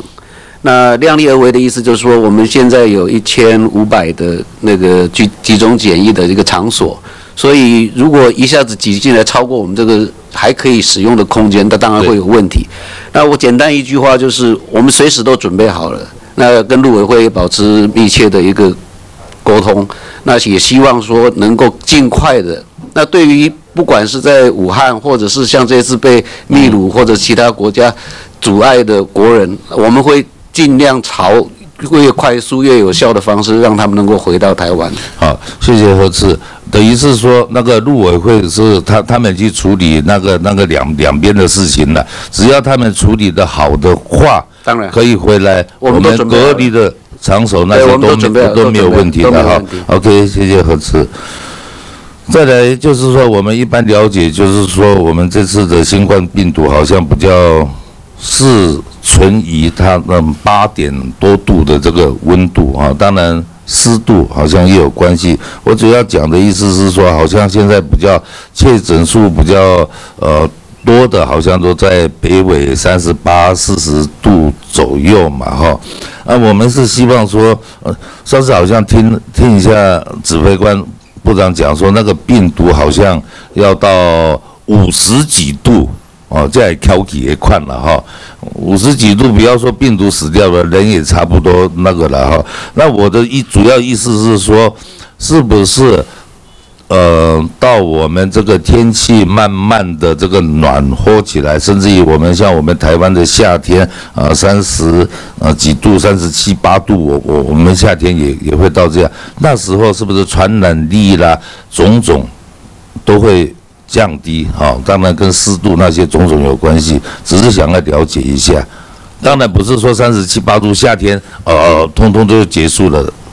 呃，跟委员说明啊，如果看现在世界各国的个案数，我就举马来西亚好了。马来西亚现在很热的地方，很热啊，它还是三十几度，它现在已经要封锁十五天了。哦，所以气候。也许会有一点点的，如果我们防防护的好，在环境中的温度可能对它是有点影响。但如果说你防疫工作没有做好，保护工作没有做好，那我想不管外面都自己度，所以传染的情况所以我们也不能期待说夏天温度高的时候，主要是还是自己的那个防疫工作要做落实才是重点。好好，谢谢市长，也增加我们一点这个了解了哈。再来就是有关这个口罩的问题，嗯，也不是什么问题的哈。这个呃，前天呃，昨天志龙也在总咨询的时候也在建议一下，因因为都会型的这个啊，譬如说啊，台北的捷运的啊，不要说保持一公尺这个距离啊，几乎人挤人啊，可能十公分的距离就不知道在不在哈，到不到啊。当然，一方面可能这个。呃，口罩国家队的这个产量也也出来，是不是要比较具体一点啊？要求说搭捷运，类似这个公共运输的这个，也当然也没有什么法则的，是不是比较强烈一点的？呃，建议说呃，一定应该要戴。口罩，好，当然我们的指引好像，呃，也还没有更正过的样子。机会的是有更更正，但是啊，有关口罩的这个好像没有更正过。然后一个问题就是说，口罩国家队哦，大家很辛苦啊。那我知道啊，一直说这个产量慢慢会增加，增加到一千万片，一千啊，一千两三百万片。那我但是我们目前为止都还是在。维持着呃七天三片，七天三片。我早上还在听到一个呃乡亲反映，他昨天在苗栗走了三家医院，他都还没有排到，还没有买到。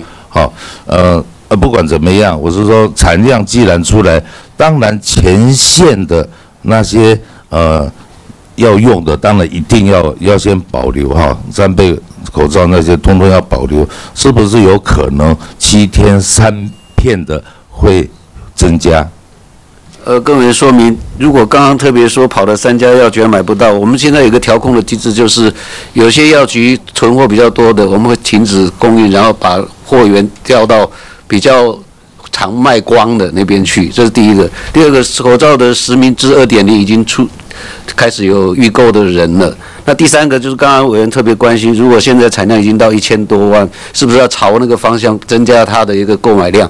其实都有在讨论。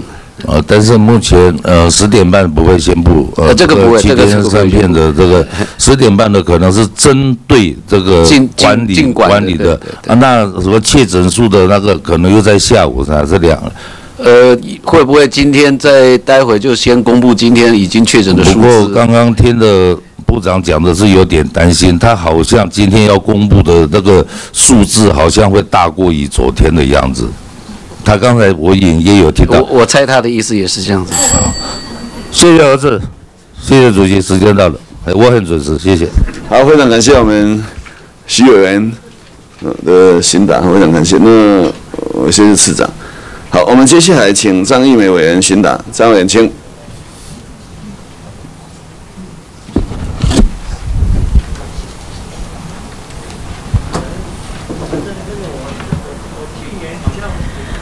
主席，呃，大家早上好。在这几天呢，又增加了几位这个国外回国外回来确诊病患，所以各位防疫的这个卫福部的同仁们，大家辛苦了。所以呢，我现在呢，就这个来这个请教这个吴秀梅署长，就食品安全。防疫期间呢，我们还是要让民众呢，呃，吃的安心，食品安全。委员好，署长好，在这个防疫期间呢、这个食药署呢，先在农历的一月十七日预告了修正了这个农药残留容许量的标准，然后呢，在一个月之内呢，不到一个月之内又又再次修正预告。我想请问，在这过年期间呐、还有防疫期间，两次的这么快速的修正，是不是让民众感觉到是不是巧巧在放宽农药残留标准呢？而且这次呢，修正关系到残留容许量呢，多达一百四十九项，然后呢，农药有四十五种。我想，我现在今天我要聚焦在一个农药，叫做氟派瑞。佛派瑞农药使用于进口草莓的残留容许量，这跟我们这个呃食的安全啊、呃、是非常有关系的。在一百零六年的时候呢，呃，我们这个叫佛派瑞呢，佛派瑞呢，啊、就是有讨论要不要开放茶叶使用。当时的委员会呢，呃，立法院呢，很多委员的关注，也吵得沸沸扬扬。今天我就针对这两次预告修正的会议呢，我来提出这个呃这个呃质疑啦。第一个我质疑呢，就是说这个佛派瑞呢，这个呃我们的记录呢是各位看到啊，记录就记录这些，就不用念了。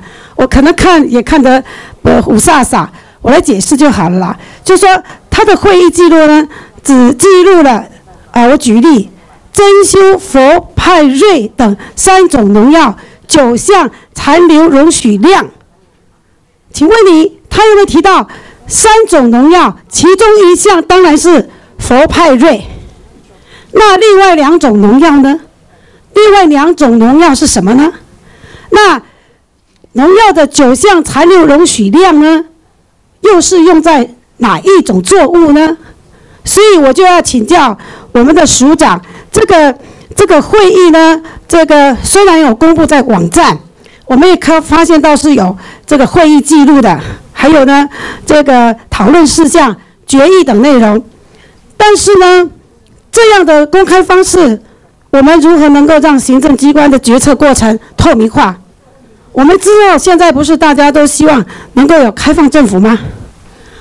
署长，我就针对这个，就说我们的会议记录太简单了，将来是不是在会议记录中，我们要以附表的方式罗列罗列下来，当次会议中讨论农药的品相，而不是说珍馐、佛派瑞等三种农药，那另外的农药是什么？还有呢，九项残留容许量。容许量用在哪里？是不是以罗列的方式，呃，在这个把它呈现出来呢？署长，请教你。好，谢谢报告委员。那其实我们整个抛在网上的资料是都全部都有详细的资料，包括会比较，不管是在美国、在欧盟 Codex 所列出来的相关数据，还有台湾为什么要增列，为什么要增增加这个农药它的一个 MIL，所以这个其实我们都在呃网页上面。都有相关的资料，那这个只是告诉大家说，我们现在有做这个，其实相关的表格是完整的。如果需要，我们可以再提供给委员。对，当然，就你有的话，你就书面提供给我。其实我是查到没有了哈。那我第二个，我想请问你啊，在这种残留试验报告有没有符合利益回避？为为什么这样问呢？是因为呢，我们我们的这个前。这个农委会呃，这个主委呃呃副主委呢，在之前呢上一次的这个委员会里面，呃，一零六年四月的时候也被问到了，所以呢，所以呢，他呢这个副主委提到说，我们会我们会将利益回避部分明确的定定出来，就是会把它定定出来。所以呢，这个我们在请教说，这次的报告是业者自己实验室做出来的结果。所以呢，这个形式上呢，可能说便宜形式啊，可能利益冲突会导向这些道德的风险。那我们这个好，你刚刚这个署长你就讲到 Cotex，Cotex，其实 Cotex 是国际上的这个食品标准。本来我是想下面再讲，但是呢，这次呢，它是经过业者提出来的报告，我们是从零点四到一点五，也就是。增加四倍的容许量，也就放宽了它的容许量。就是经过台湾拜耳公司呃这个提供实验之后呢，从零点四到一点五，它已经四倍的这个容许量。我们下一张看。所以呢，这个呃还有呢，它也是呢，这个经过有它用草莓试验十次呢，其实十次里面都不一样，它的容它的容许量甚至差了一百倍。据我所知，在这一次的这种的呃这个试验里面呢，并没有差到一百倍，只有草莓，就进口草莓，就佛啊，就佛派瑞这个药农药呢，差了一百倍的一百倍的这种差距。请问署长，啊，请教您，请解释。好。那跟委员报告，所有的做这些相关农药，应该是使用多少的范围，都是一个经过验证的实验室。那就像药品一样，药品找 CRO 来做，也不代表说这个叫做就是有利益的一个关系呀。这个是一个专业的，它是依照科学的方式去评估了以后，然后送资料过来，我们做审查的。而且到了台湾，我们也不是完全就只有看这样的资料。如果这个资料是在台湾要使用的话，我们其实在农事所他们自己本身。也会在经过相关的实验，从田间试验这些都会做出来，所以这个其实我们整个在做这个单位就是在保障民众的安全，所以对农药我们绝对是非常谨慎的在评估，如果可以使用才可以使用，不能就不要使用了。好，我们看我们讲到 Codex 对不对？你看你我据我所知的这次的这个呃这个佛佛派瑞呢，其实是一家厂商他提供的，这个厂商我要请教说他是不是？自己的厂商实验室在做，或委托自己相关有关的上下游厂商在做，这是质疑的。好，我们就讲 Codex，Codex 是不是国际的食品的标准，对不对？它是按照这个呃这个呃国际间公认的食品标准指引下，这样的标准是建立在各国的共识以及先进的科学基础上。先进的科学基础上，所以值得相信。因为我们台湾都是非常守法的，非常国际化，所以我们一开始我们是以零点四，以国家以以全世界的容许量零点四的。可是这次这个开会之后呢，我们就调高了一点五。我不晓得为什么调高了一点五，四倍的量，这样子的量其实是这个是可疑的啦。因为呢，这个我们就以去年的去水果进口量来讲，草莓的进口量，光是半年呢的进口量呢，它的这个呃这个农药超标的。这个容许量就是农业超标前三名就是草莓，那我们这次修正的呢，就是完全就是佛派瑞农药使用于进口草莓残留容许量至零点四 ppm 提高到一点五 ppm，提高到四倍，所以这是不是大开？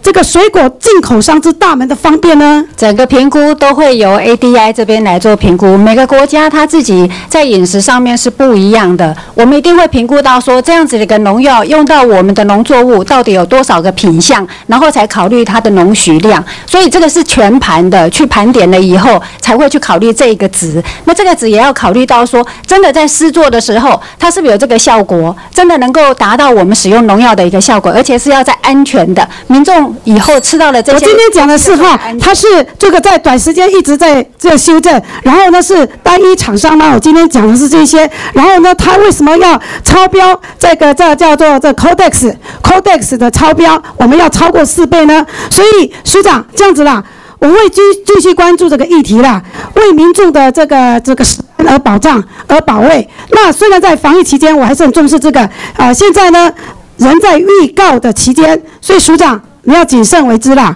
现在仍在预告的时间，所以署长谨慎为之，谢谢。好，谢谢委员。好，非常谢谢张委员的宣达，也谢谢署长。那我们现在休息十分钟。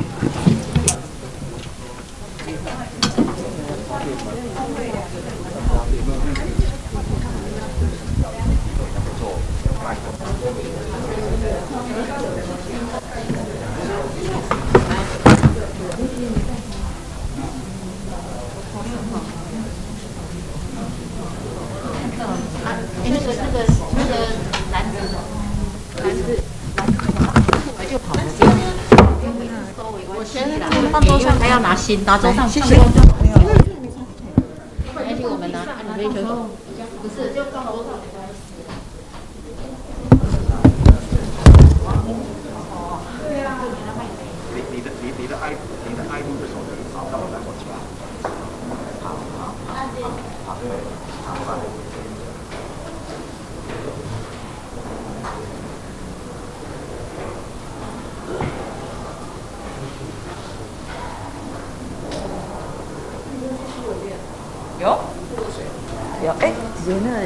饮水机在哪边？哦，是在里面。下去应该可以。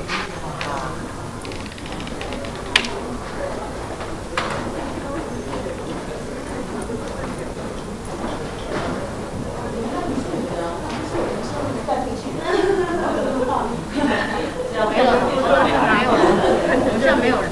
你小优，你要拿钥匙哦，过来。哎，钥匙借我一下，我在里面拿。他他他不是。他比较好拿，他的手不要再弄了。他了。放久了，先先关一下那个。那个不知道用文具。板子上面好脏。是啦，那个板子是，那个板子，板子像黑是，因为跟毛不是的，讲话嘛讲迄唔是的，你讲。你知道吗？我是礼拜几对啊。哎，那个啦，拿拿个那个，拿个那个酒精擦一擦。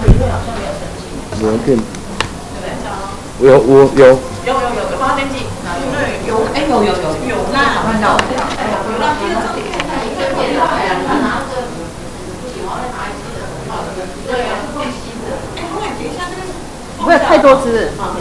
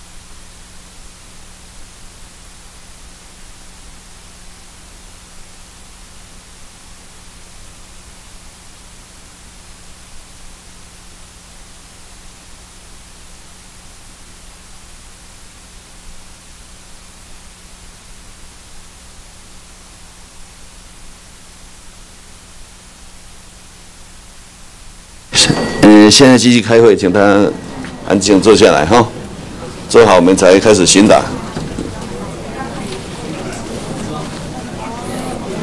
我在这边还是宣布哈，那个今天因为疫情的关系哈，有很多事情要做，所以我们所有的过程都是尽量按照准时、按照流程来进行哈。非常感谢大家。好，不要不要太激动，不要太激动，嘿，我们会照顾的很好的。嘿，好，请坐哈，请大家坐哈。有这里有时候哈，就是中场休息以后开始，我打给那个工委员呢。委员执行都很辛苦哈，那个请大家坐下来，我再开始。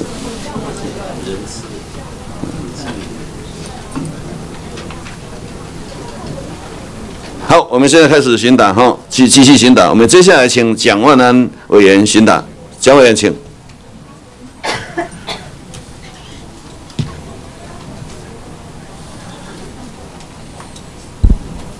好，谢谢主席，是不是请何次长？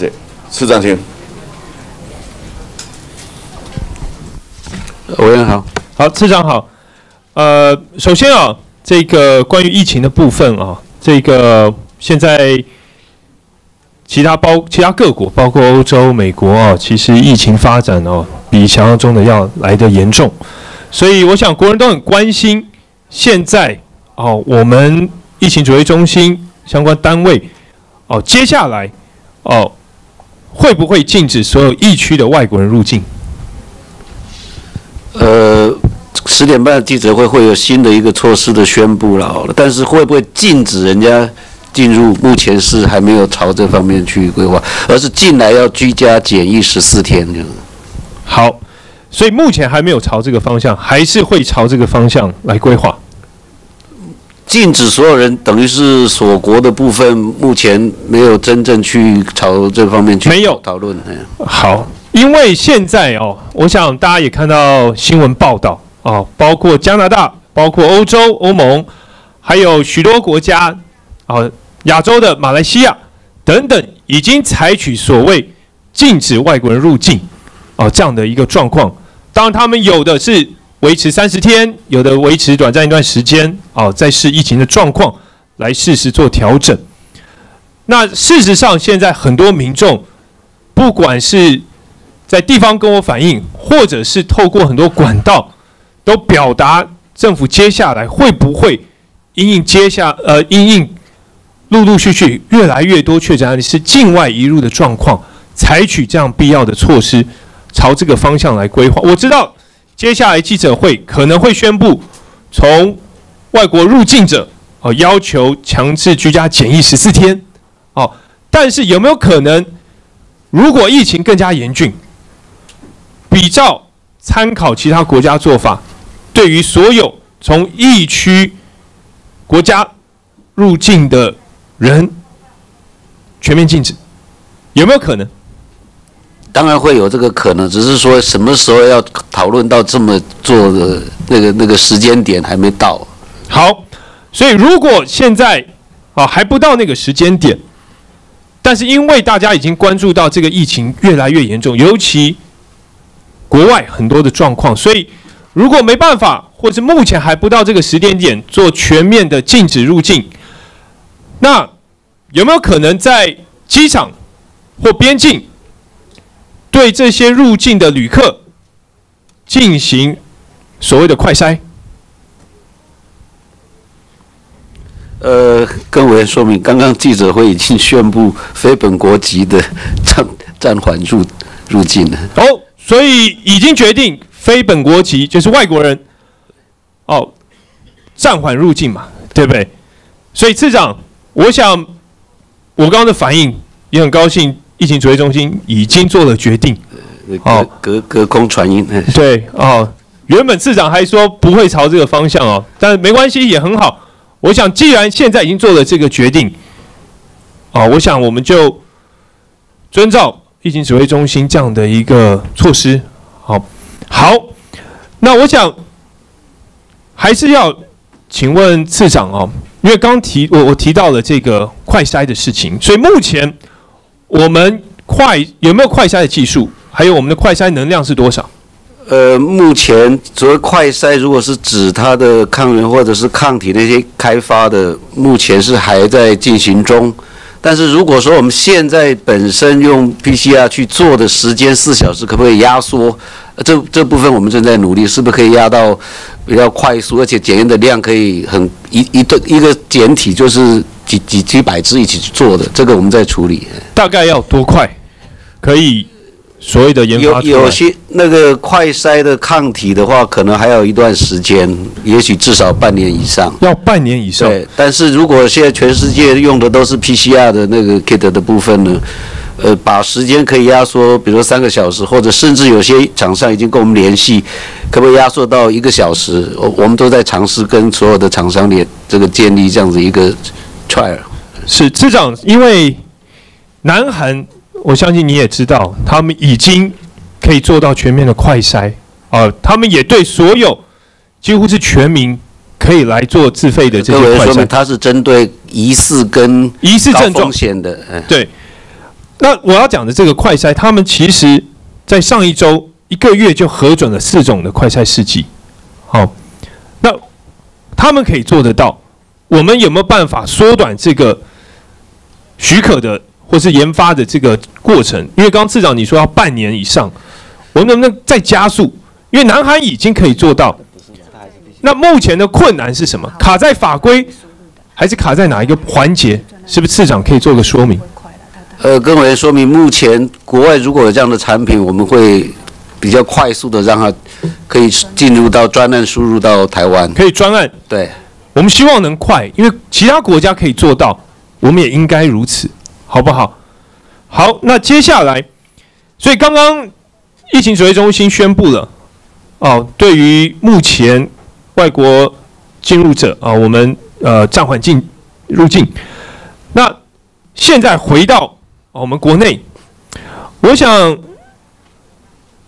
请教次长，好，我们有没有办法扩大我们的检验量能？哦，那比照流感的时候，哦，让可能有疑似症状的民众来自费自费进行筛检。呃，各位说明，目前是大概三千多一天，可以检验三千多，但是我们把所有的实验室的辅导做完的时候，可能可以到五千多。那刚刚委员特别提的，是不是让有症状的民众来主动？我们现在也不管这个旅游史，那但是重点还是放在，比如说我们往回追，从欧洲回来，回溯他过去十四天进来的人，那如果他有任何症状，我们优先先去帮他做检验。那未来是不是说民众自觉有症状？一方面是还是要经过医师的诊断了，因为如果一窝蜂来，到底他只是担心他自己有没有，也会造成我们这个整个防疫上面那个负担，或者是也不是那么急需要检验的人，才会能够做一个分流。嗯，这样子啊，所以次长，我想的确啊，我们要衡量我们这个检验的量能哦，还有需求。但是如果没有办法，比如说像其他国家哦，做到扩大的这个检测范围，那至少我在这边跟次长来反映，我们能不能对医护人员、第一线执行防疫工作的这些人员，而且他们处在高风险的环境，优先来进行相关的检测，确保他们能够安全无虞的执行防疫工作。我想这一部分是不是可以做到？跟委员说明，如果今天他是照顾病人的，我们可以考虑。对，就第一线在执行防疫。而且这个检验不是只有做一次，比如说我今天刚接触，你帮我检验一次，我就拿川普总统来讲好了。那现在那个时候检验阴性，不保证他未来十四天之内不会发病，也许他还是会检测阳性。所以你检测那一次其实是为什么要等到病人有症状或者才来检测？因为他那个高高检出的可能性比较高了啦。那你如果说所有的人都来检测，但是一次检测是保证他没有，那不一定，因为他还没有到那个时候嘛。对，所以次长，我的意思是这样哦，就是说，因为现在你要进行检测，是要有相关有可能的症疑似症状，然后医师做判断，然后要去参考他的旅游史、接触史等等，然后做一个衡量，哦，然后医师决定是否做相关的检测。那我想这样子的一个标准以外，是不是可以对于在第一线，就像市长刚刚讲的，啊，进行防疫工作的这些医护人员，那他有疑似症状，但他可能没有旅游史或接触史，而他又是因为处在高风险被感染的环境，如果他不管是主动提出，或者是他有需求，那我们能不能为他们进行优先的针对照检测这些可以吗？可以，可以，可以。好，那就希望市长跟疫情指挥中心来说明哦，这部分我们可以来只要放宽现。在医务同仁他自己有症状，那我们都会接受他的。好，好，那最后一样，呃，前天哦，新闻媒体报道，要疫情指挥中心也有公开说明。当然，目前校园里面哦，因为这些境外移入的案例哦，不管是某高中或某大学有确诊的案例，那这一部分当然目前是没有公布学校或相关的资讯。但是有可能造成医疗院所或医护人员他们的一个风险。也就是说，如果某学校他的该学校的学生他已经有疑似症状，来诊所看病，或是到也许医学中心，也许一般的医疗院所，但医护人员不知道他是该学校的学生，那等于让他们处于极高的风险。那这部分，卫福部或疫情指挥中心有没有考量到，让医护人员掌握更多确诊者的相关背景资料？我跟委员说明，现在的医医疗单位对于所有的病人，只要是有上呼吸道症状，其实是都高度的警觉。平常就要保持这种这种样态了啦，而不是说针对你一定要知道他是哪个学校或者哪个来的，因为现在医医师跟护理同仁，其实在保护自己方面都有这个概念了。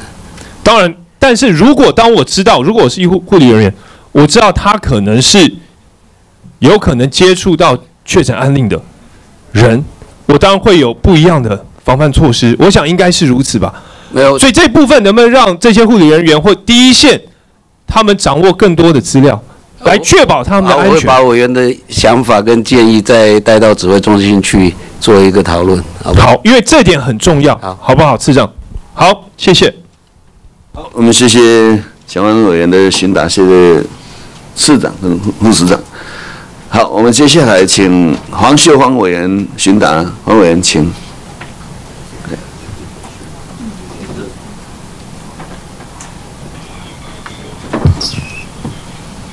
谢谢主席，我们请次长。次长请。委员好。次长好，次长辛苦了哈。次长，我呃要针对就是我们现在呃教育部有统计哈，在呃大专院校哈每学期差不多有三万多名的大学生出国交换哈交换学生哈。那因为呃这个疫情的关系，所以有很多的这个交换生他们要回来。那呃我这边也接受到有一些这个陈请了哈，就是说他们想要回来。可是最基本的可能就是要口罩，可是口罩是完全买不到，甚至也拿不到。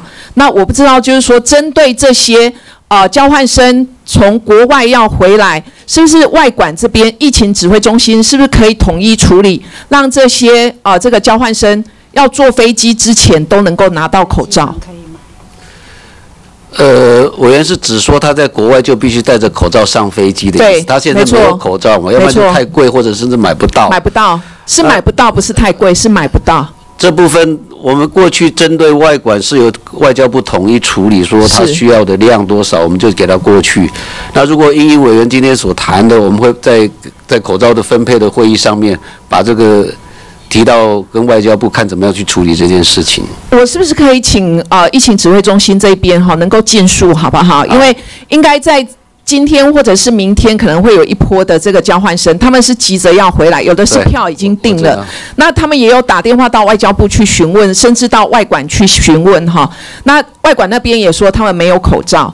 那如果说这些人他们呃全部上了飞机也没有戴口罩，这个回到台湾，这个这个可想见，这个是一另外一波的这个高危险区。我跟委员说明，主要是他在国外的时候口罩是比较要要处理，但是进到台湾的机场，我们现在机场已经准备要贩售了。是，就是不是不是只有在药局，而是机场为了因这个因应所有相关刚刚讲的情况。但现在更超前的是说，他在他从要上飞机的比如说他在呃欧洲那边，他要回来，那他要上飞机之前，应该应该让他们至少有一片口罩吧？是不是可以请对疫情指挥中心这边来处理也？讲说，坐飞机是一个高风险的，是啊长嘛。是啊，好，那是不是可以尽速处理？可以吗？对，我我们再把这个议题带回去好，因。因为我们也呃，因为呃民众的陈情，那我们也有找外管哈，外管说他们本身呃这个口罩也是直接从台湾这边，可能就是分配给外管的这个呃一些人员而已，没有针对这些交换生哈。所以我希望就是说呃疫情指挥中心、卫福部这边，甚至教育部这边能够统计一下有多少人要回来。好，那至少在上飞机。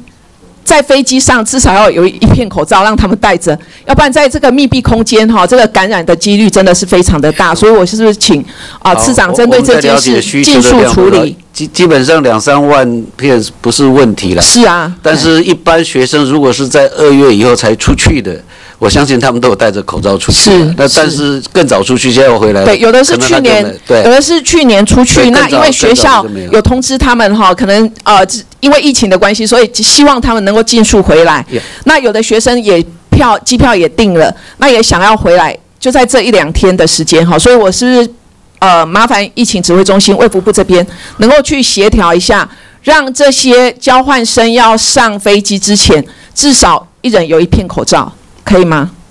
另外一个方式是，如果都是做自己国家的航空公司的，也许那个班机上，我们是不是透过航空公司也可以协助来处理？好可以吗？可以。对，我会把这一题带回去。好，今天一定要处理哦，拜托，谢谢。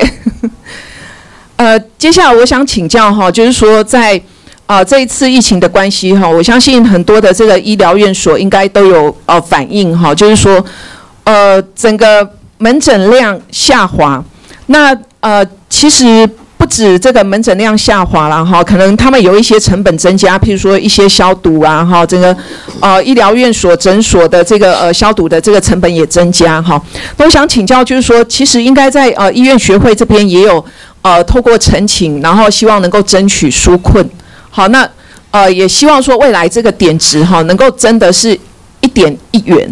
好，那我我知道是不是可以请这个次长这边回复一下？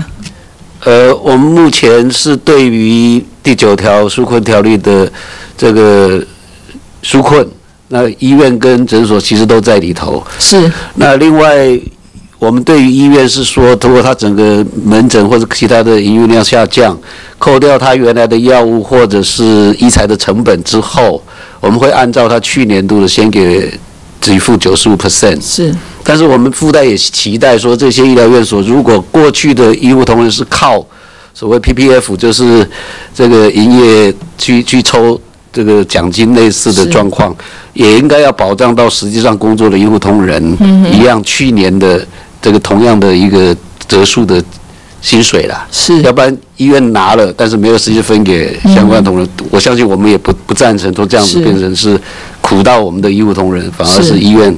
所以这部分都有考量。那一点一块钱的是有在定案了吗？好，署长好哈，我想是这样啦，因为就是目前来讲，当然是说在各层级的医疗院所，他们的门诊人数是减少。好，可他们住院人数在医院来讲并没有减少。嗯那至于就是说门诊人数减少的部分的话呢，我们现在给付的就是说给他的一个，因为这总额里面一个暂付款嘛，我们是比照去年的那个费用哈，就九五折就先给他了，所以变成他现在目前门诊人数减少，但他实际上得到的那个医疗给付并没有减少。是。好，那我可不可以请教，就是说在这一段期间哈，呃，其实所有的医护人员也真的都非常的辛苦，不论是医护也好，或者是药师，真的都非常辛苦哈。那呃，我看到就是说，呃，药师的这个调剂费好像要调高嘛哈。那那这个呃医疗院所的这个诊查费。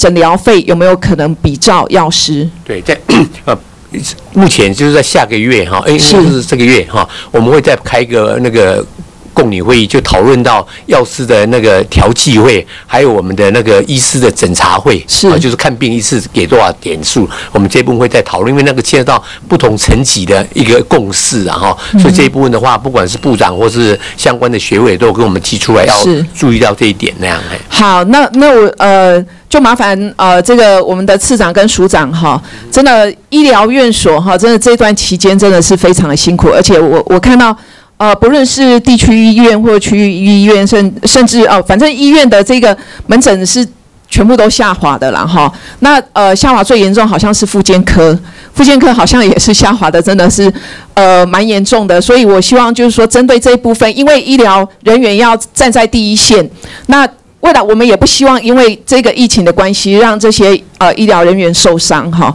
甚至呃经营不下去。所以我们呃麻烦次长跟署长针对这一部分哈，能够去考虑哦、这个我们的这个诊疗费或者是诊查费能够呃这个比照，好、让这些啊、呃这个医疗人员能够在第一线啊、不要因为这个门诊量这个下滑，然后整个呃这个诊所经营经营不下去的这种窘境哈。另外，啊，时间到了，是 好，那我我简单再提一下哈，就是呃，因为这个疫情的关系，而且我们会担心这个疫情是不是会呃这个越来越严重哈。这个是我们担心的啦，哈。那当然就是说，我们也呃非常感谢呃这个整个卫福部所有的同仁，还有疫情指挥中心的辛苦哈，让啊、整个台湾能够守住。那未来呃这个短中长期哈，可能一开始大家担心的就是口罩不够的这个问题，那我呃这个在第一时间也都处理的蛮好的。那我是不是可以请呃卫福部或者是疫情指挥中心这边针对这个口罩的部分能够这个呃滚动式去检讨哈？因为还是蛮多人会认为，就是说他如果按照这个呃这个身份证的。单数或双数去领这个口罩，其实还是有它的困难。那有的一个家庭是不是可以一次领？好，不要去分他的这个身份证别是是呃单数或双数，可不可以？就是说针对这部分是滚动式去检讨。部长也有在考虑，说是整个家户一起的，也有在考量。好好，谢谢。好，非常谢谢我们黄秀芳委员的询答，谢谢市长。好，我们接下来陈陈明委员询答，陈委员请。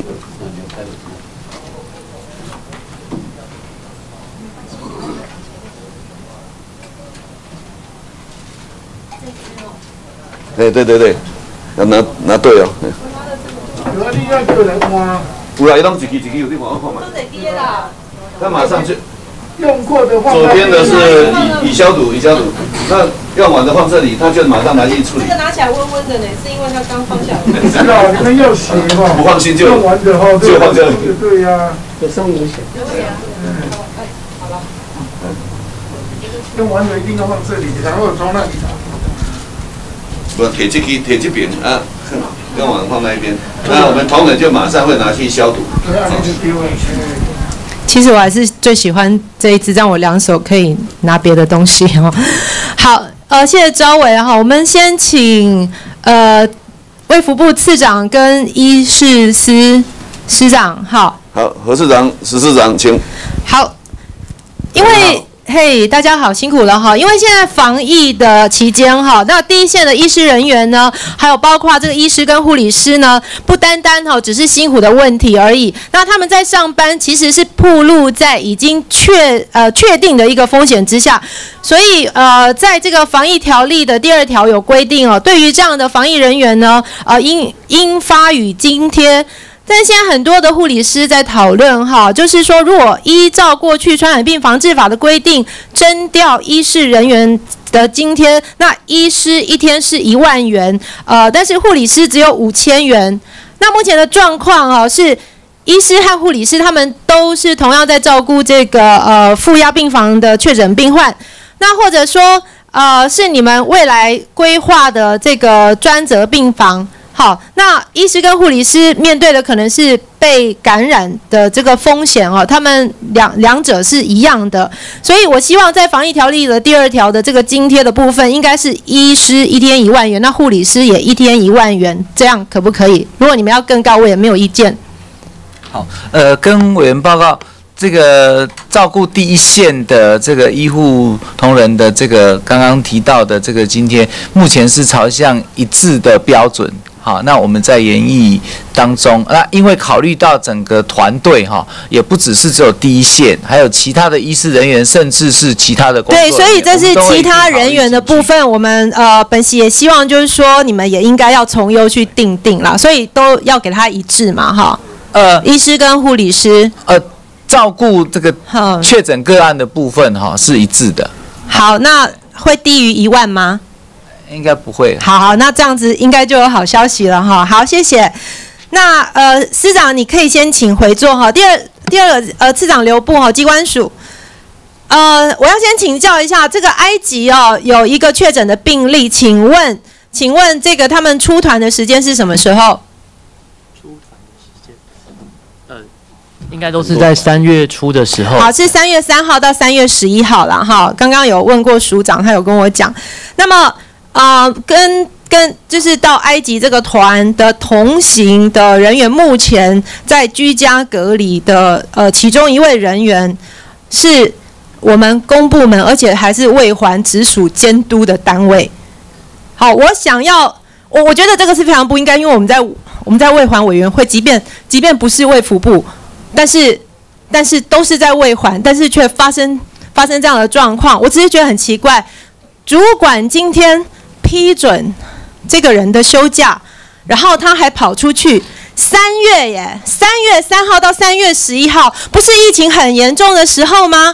为什么主管还可以同意这个人出国去旅游呢？然后回来影响到大家，现在整个单位还要大消毒。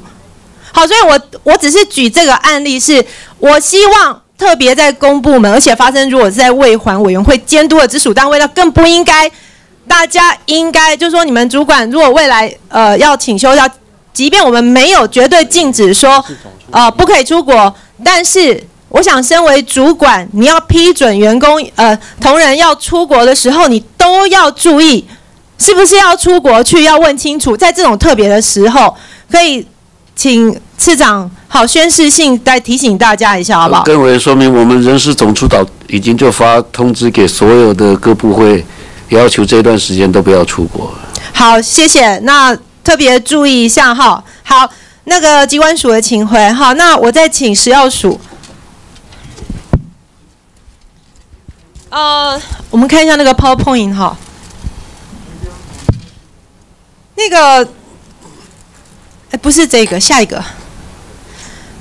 呃，之前哈有这样的一个新闻啊，那呃这这篇新闻是有特别讲到，就是说，因为当时我们其实口罩就是不是随手垂手可得的一个状态，大家还要排队去买口罩，在更早之前是连排队都没得排哈，就是就是买不到口罩的状况。那时候有这样的一个新闻，在二月二十六号公布，标题跟内容都写的，据不织布活性炭。防 PM 二点五等特性的这些呃口罩，哈，或者是那一层布都有这个呃可以拿来，就是说跟这边写的哈，跟这个防护力跟这个医疗口罩的差不多。那我在看到这个新闻以后，因为我的小孩开准备要开学，我就很紧张，我订了一大堆不织布，结果一上网找，天哪，这个不织布。千百种有我我订了很多种有有这样子的哈，那还有这样子的，那还有我还看到我很认真我还看到这样子的，那到底是什么样的不织布？现在每个人为了要延长口罩的使用时间，那我们买了很多不织布，但是要网络上有好多的不织布，但是我花了很多钱，一片还很贵，买回来发现说，哎，这个跟我每天洗脸丢掉的有什么两样？就是那一块布啊。但是我也有看到，反而还比较便宜，这一片熔喷不织布，请教署长，你可不可以告诉大家，我们到底应该要买什么样的这个滤片或者什么样的不织布才可以有比较好的、比较类似医疗的这个这个医疗口罩的效果？呃，谢谢委员哦。那其实我们这个时候是在宣传说，布口罩它其实是可以有效的防飞沫的。那所以我们也介绍给民众说，这个布口罩其实它相关的一些材质，如果里面有一些不织布，有些不织布它还有活性炭的处理，那或者是它在标示上面有写防 PM 二点五，所以整个来讲，这一些就是属于我们可以平常的时候使用。如果到医院，我们当然还是建议大家就使用医用口罩。所以在这个地方要跟各位介绍是说，在医用口罩的部分，它所使用的是熔喷不织布。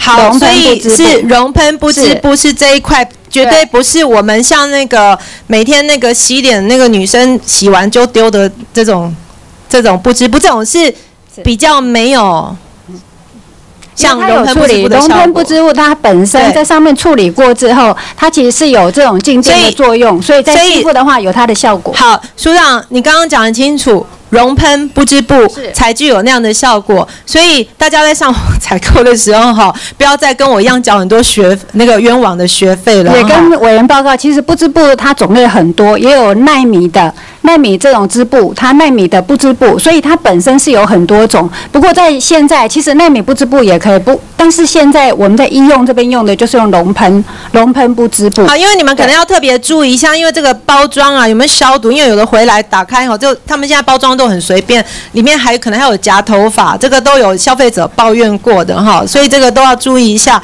那呃，那我我我再请问一下，因为因为也也有可能是因为这个这一篇新闻的关系啊，现在出去连活性炭的口罩都买不到了，哈。因为我的很多的选民都在工地工作，都在工厂工作，他们说委员我都买不到口罩啊。那请问，请问，呃，好像工业局的也有来哈，你们注意一下，工业用口罩是不是防疫物资？不是，其实它应该算是，也不是啦。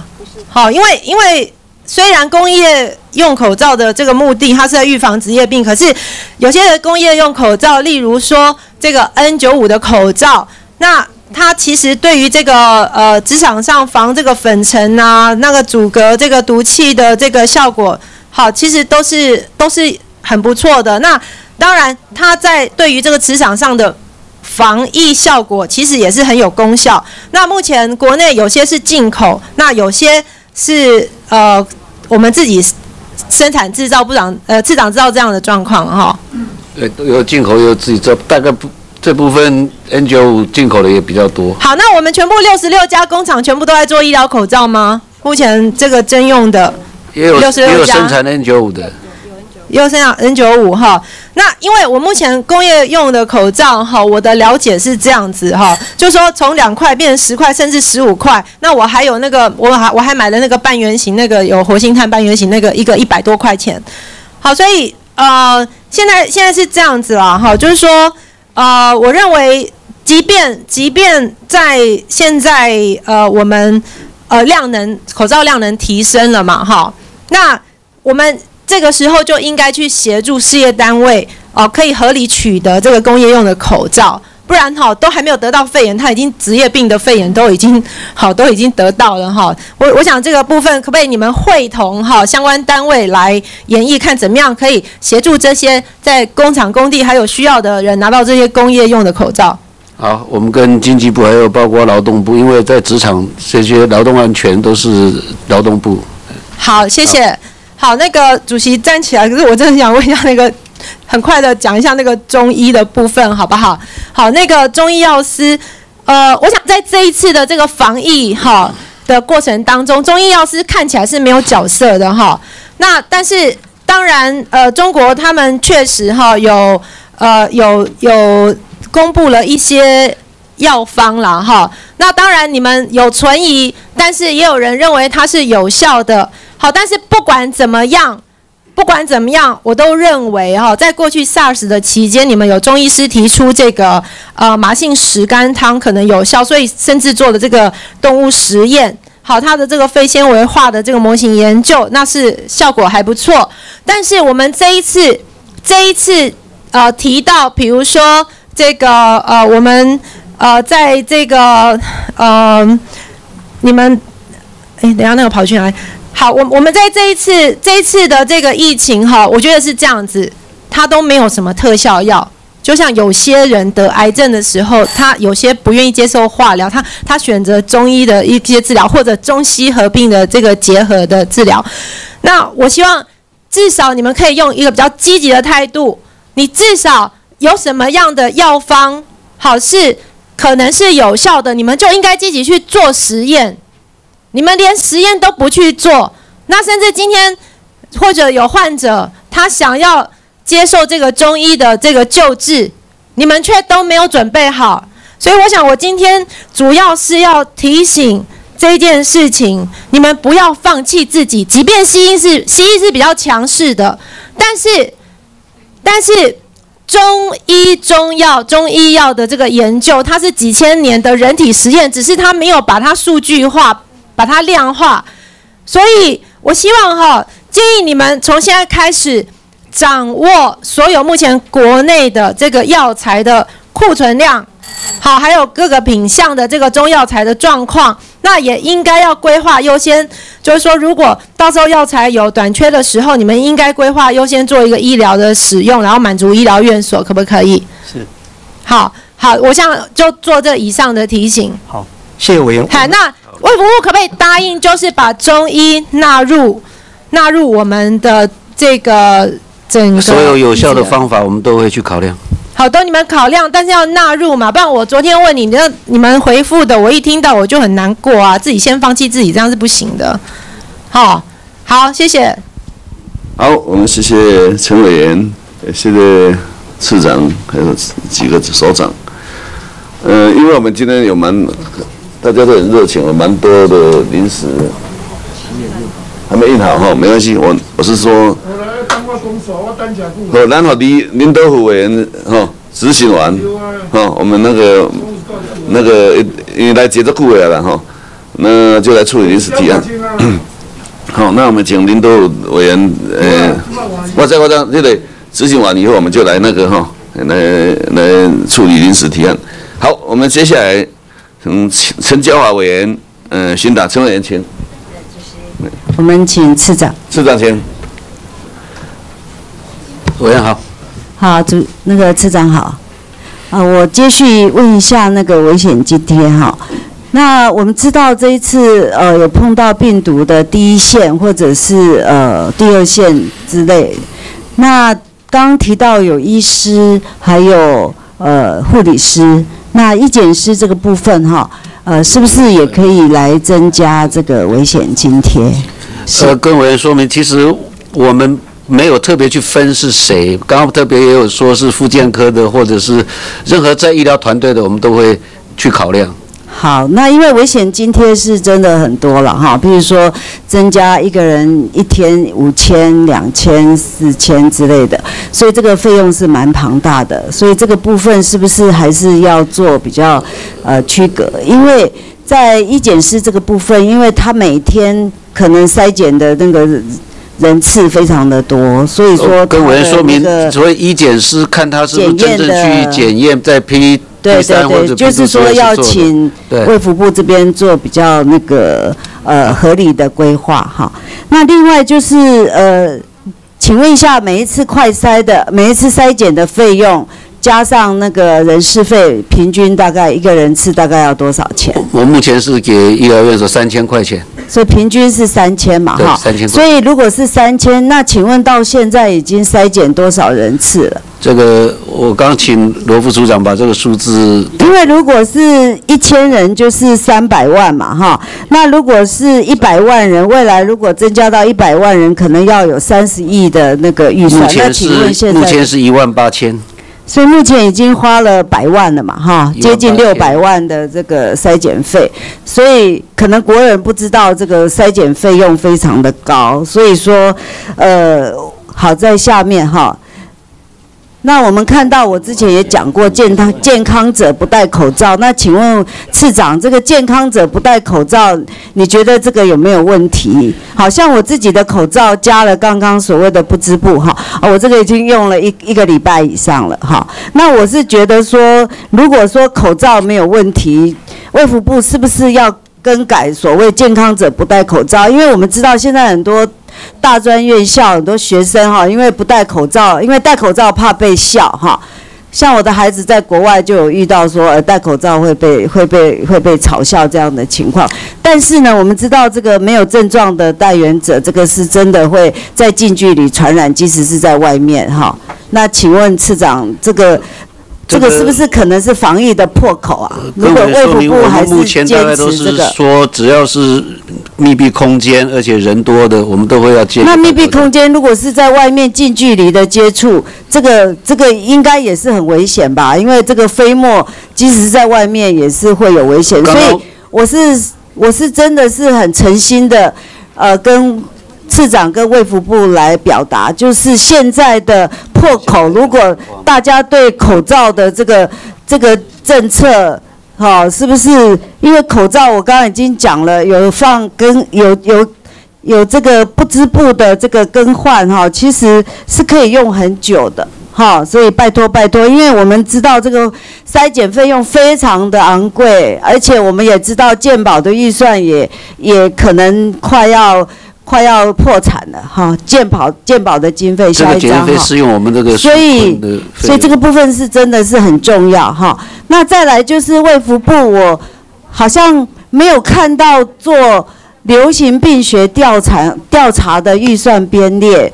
那请问次长，因为在目前啊、因为工业污染，因为这个病毒的感染或者是其他因素，这个死亡率增加、致癌率增加，包括这次武汉肺炎疫情，我们是不是要编多一点流行病学调查预算，才能够未来能够去防范相关的一些危害呢？跟委员说明，我们对于不管是致癌死亡率，当然工业污染这部分可能是环保署或者是，但是环保署说这我我个跟委员跟疾病说明一下有关，是卫福只要跟我们有关系的，其实都有编。我们一定要收集资料，包括癌症啦或者其他的这个慢性病，那请在国健署次长都会有。次长一定要去回去反映这个部分很重要，因为我们看到像高雄、像中南部很多因为空污引起的工厂、工业区，这个我们都有专案的一好些，计划在。那是不是要编更多预算？好，下面哈，那再来就是要提到一些缺药的问题哈，因为现在有一些可能呃这个航班航班不确定，所以有很多公药平台哈领不到药啊。再下一张哈，那。是不是有一些替代药，或者是有一些不可替代的，可能有呃同成分、同品质、同价格是可以替代，可能也，但是有一些处方间如果不可替代，这个部分好在下面哈。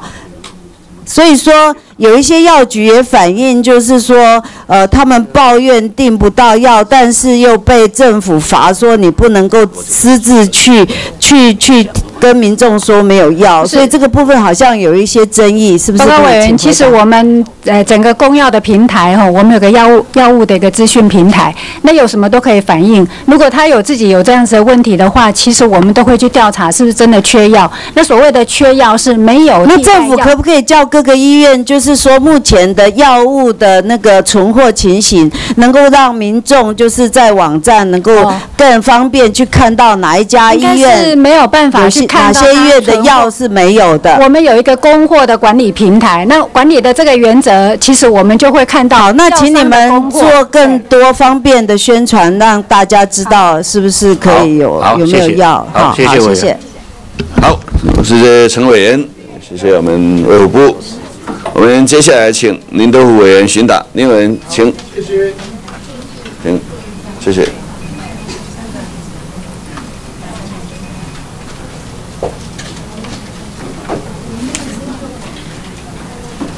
谢谢主席，好，谢谢。啊，何市长好不好？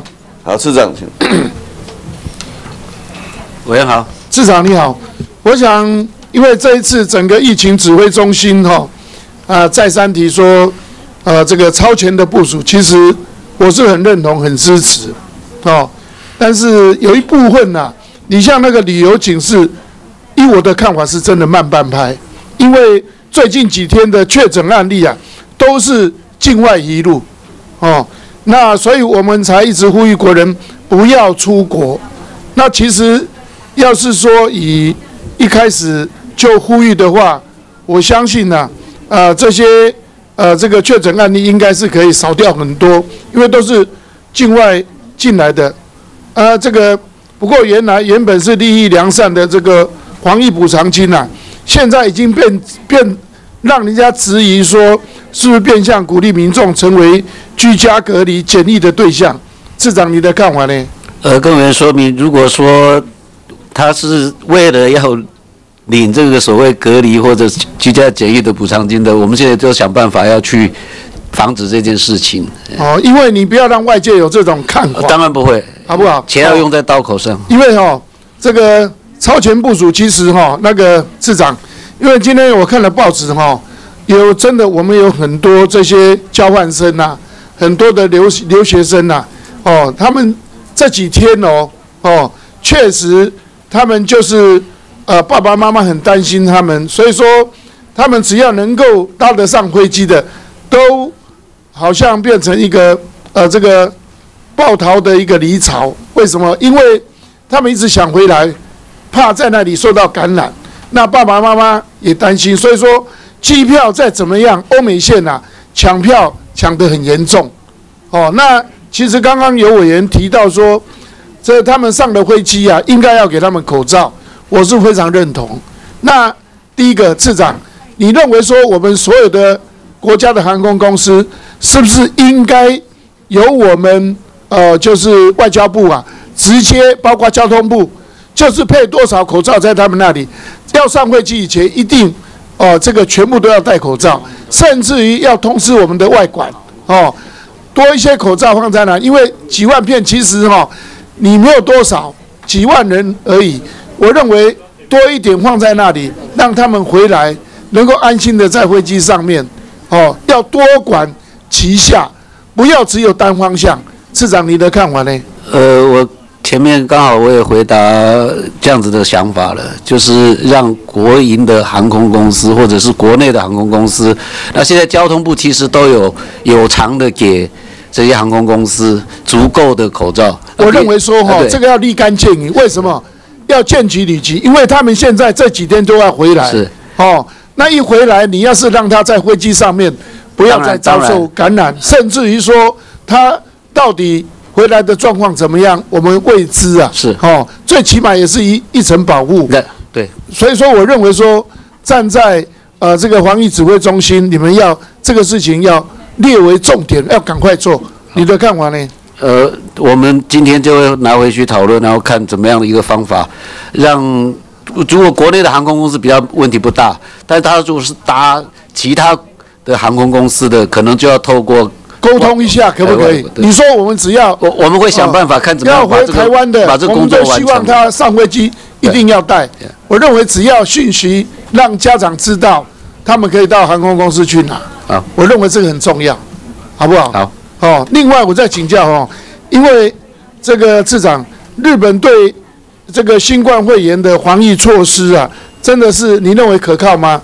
因为有媒体啊在报道说，怀疑日本采取的这个盖牌的策略，减少筛检以降低确诊的病例，你的看法呢？呃，我们已经把日本列为第三级的旅游警示了。所以说当初哈、其实老早就应该要列入，哦，因为他们可能呐、有很多是确诊，但是他们用盖牌的那种呃策略哈、造成哦就是呃好像也也也有一种掩饰啊，哦，那个市长我再请教哦，因为现在有很多慢性病的这些处方间，很多医院呐啊他们呃要去回诊等等，其实站在呃这个病患的立场，他也怕哦，那开张处方签，然后又这个其实民众是很不希望去医院，那你是不是可以哦这个来调整原来的健保局啊，这个可以延续领药的，或者是到其他诊所或其他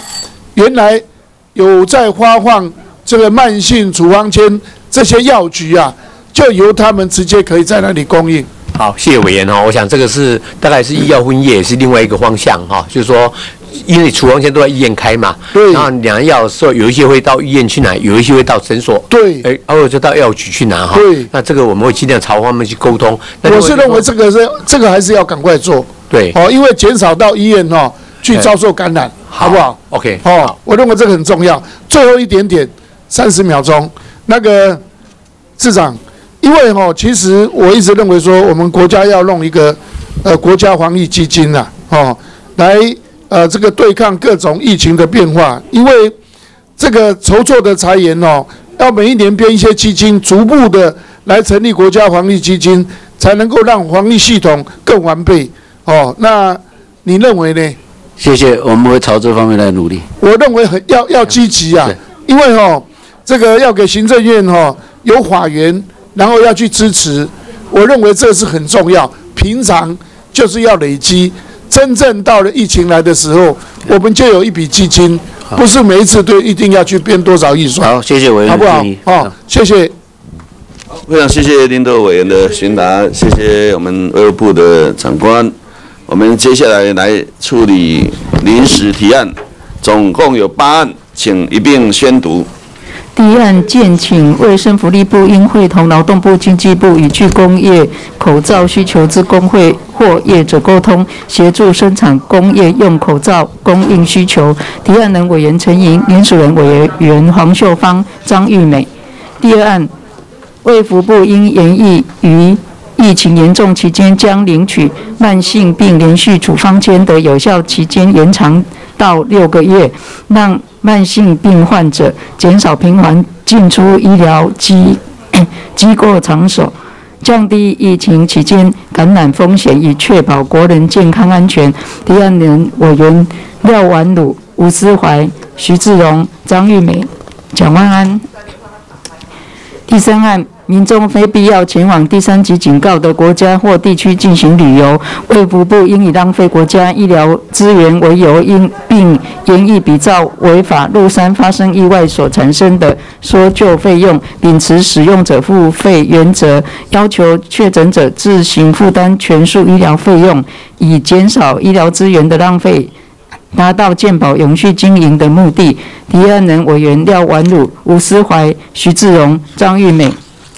第四案，武案武汉肺炎防疫期间，医师与护理师同为第一线接触确诊病患之医师人员，建请规划应发给相同之津贴，医师与护理师每日各一万元以上，其他从事防治相关工作人员亦应从优发给补助或津贴。提案人委员陈莹、张玉美、黄秀芳。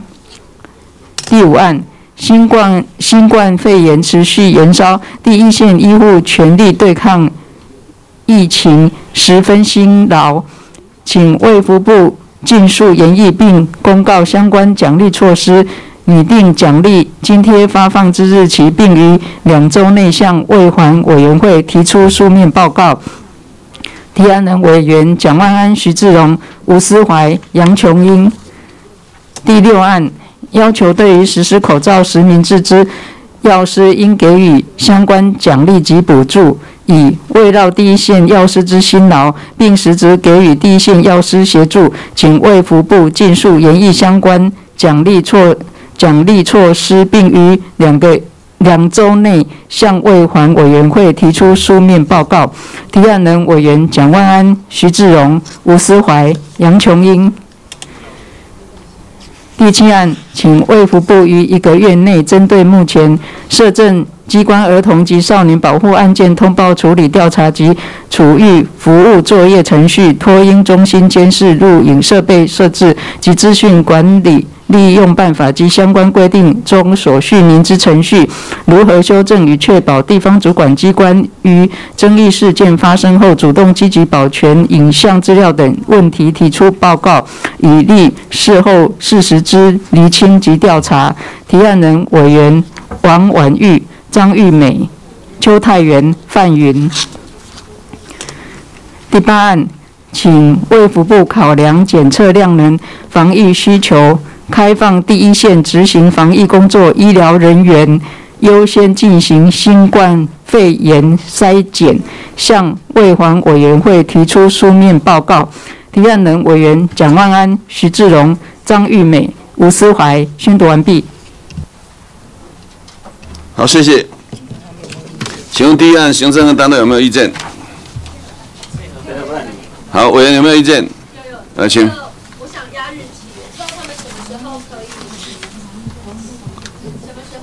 不晓得行政单位回答一下。三天内吗？一个礼拜会同。啊，五天呢？我们会讨跟经济部还有劳动部来讨。五天是五个工作天吗？倒数第二行，建请呃卫生福利部五天内应会同劳动部、经济部。对，我们如果跟他们要讨论，是马上就可以进行，只是说有没有具体的办法，恐怕不是说一下子就可以讨论出来了。我们会进行的，马上就进行。对，不要。那就三天嘛，三天内要跟他们讨论嘛。好，谢谢，就修改。三天。三天内。三天内，哦，讨论。好，我们这个案就通过。好，第二案，不知道行政单位的意见怎么样？我配合办理。哎，等一下，我委员有意见哈。那个，这是严厉嘛？卫福部哈，那个因严厉于第二案的哈，于疫情严重期间将领取慢性病的话有六个月。我觉得把它开放一点哦，等等有效策略，哈。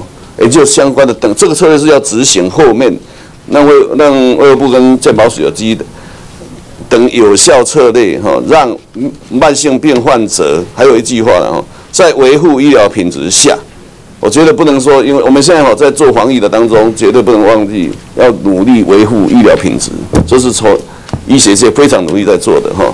如果容许的话，我的建议就让慢性病患者在维护医疗品质下。可减少频繁进出医疗院所等等等这样子，不晓得大家，不晓得委员你有没有指教？如果没有，我们就拜托哈，就这样，因为可能会更多的、更周全。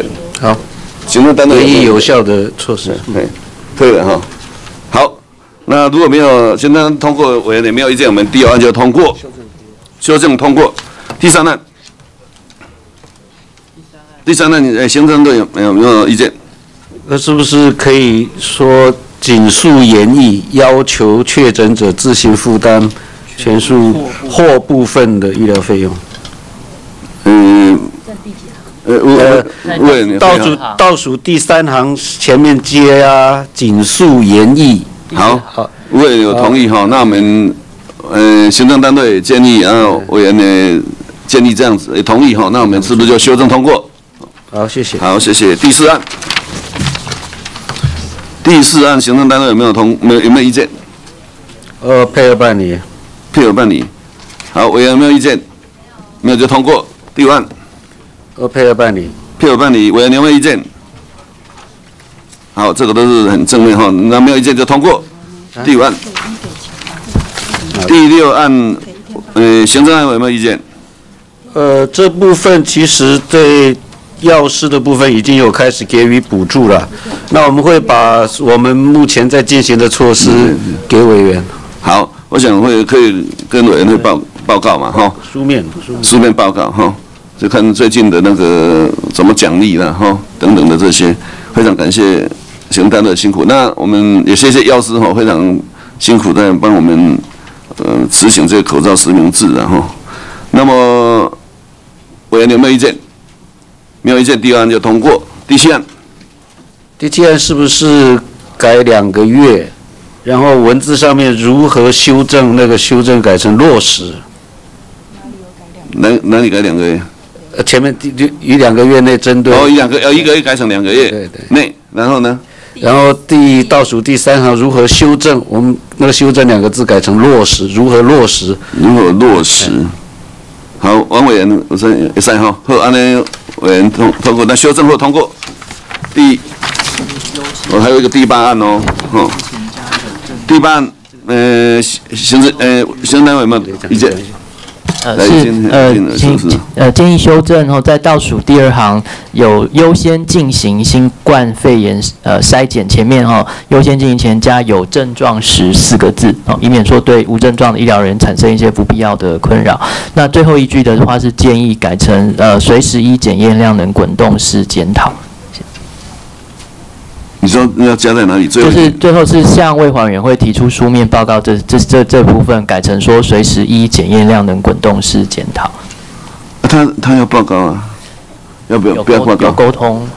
不报不用报告，沟通行行好，那就按照那个一护士长所讲的哈，你再念一次好不好？不好意思，嗯，确认一下。最后一句是，呃，逗点后面开放第一线执行防疫工作医疗人员有症状时优先进行新冠肺炎筛检，是，随时依检验量能滚动式检讨。好，委员如果同意，我们就修正后通过，谢谢，一般通过。好，那全临时提案全部处理完毕哈。我们接下来行导人，我再宣布一下，那个我们总要留给工作人员吃饭时间的哈，因为看起来今天非常，呃，大家热烈的在登记然后我也不晓得会到几点。那我们预计十十二点二十分好了，好不好？好，十二点二十分我们休息半小时，让大家可以用餐，不要饿得太久。那便当来的当然大家可以吃了哈，那在前面的几个工作人员大概没办法，所以一定要休息半小时，好不好？我们十二点二十左右休息半小时哈，那我们半小时以后就会继续开始哈。好，那我们接下来继续的询答，我们接下来请林楚英委员，呃，询答六委员，请。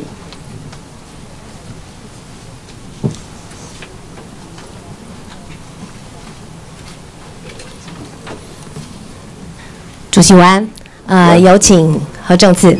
哎，这次次长你好。委员好。正次你好，呃，我就在刚刚接收到一个最新的讯息，是说。呃，有民众澄清，有一个建设公司，他们明天一早要开一个长达十二小时的会议，人数多达三百多人，而他们有员工担忧，因此昨天打到了一九二二来询问，可不可以劝告公司不要办，因为这些三百多人当中包含的是来自全国各地的业务同仁。一九二二说。应该就是看指引，那么有没有法源要员工自己跟公司沟通？请问遇到这样的状况的时候该怎么办？我想现在许多的公司行号。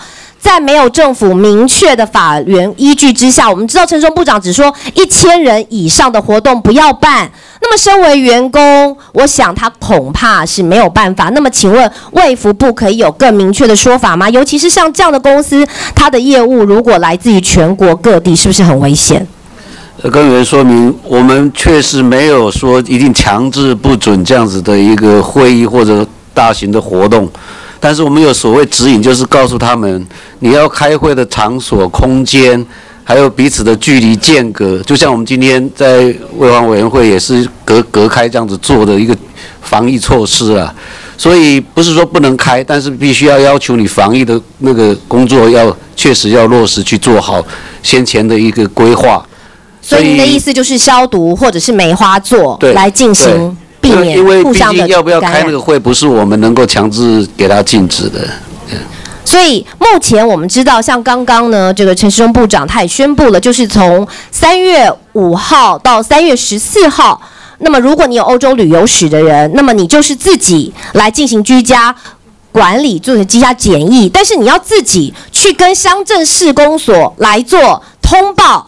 那么我们其实现在担忧就是说，如果从十九号的零时开始，外国人都不可以进入了，那么如果你是从国外回来，你也要进行居家检疫。所以在这个部分，有没有可能变成是三月五号到三月十四号的人成为一个漏洞呢？他如果自己不去跟镇公所、呃乡镇市公所来做报备的时候，那么居家检疫的人具有这样的权利去要求他一定要去做检疫，或者能够找到他吗？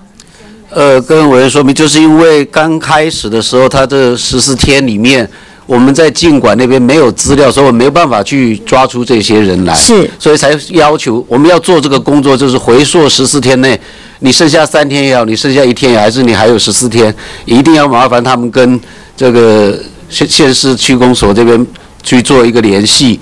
那有症状的时候，我们就马上要请他去也就就医，还有包括检验，因为毕竟。他自己也会担心说，既然有这个风险，会不会给自己家人或什么？他应该有症状，他就会自动出来。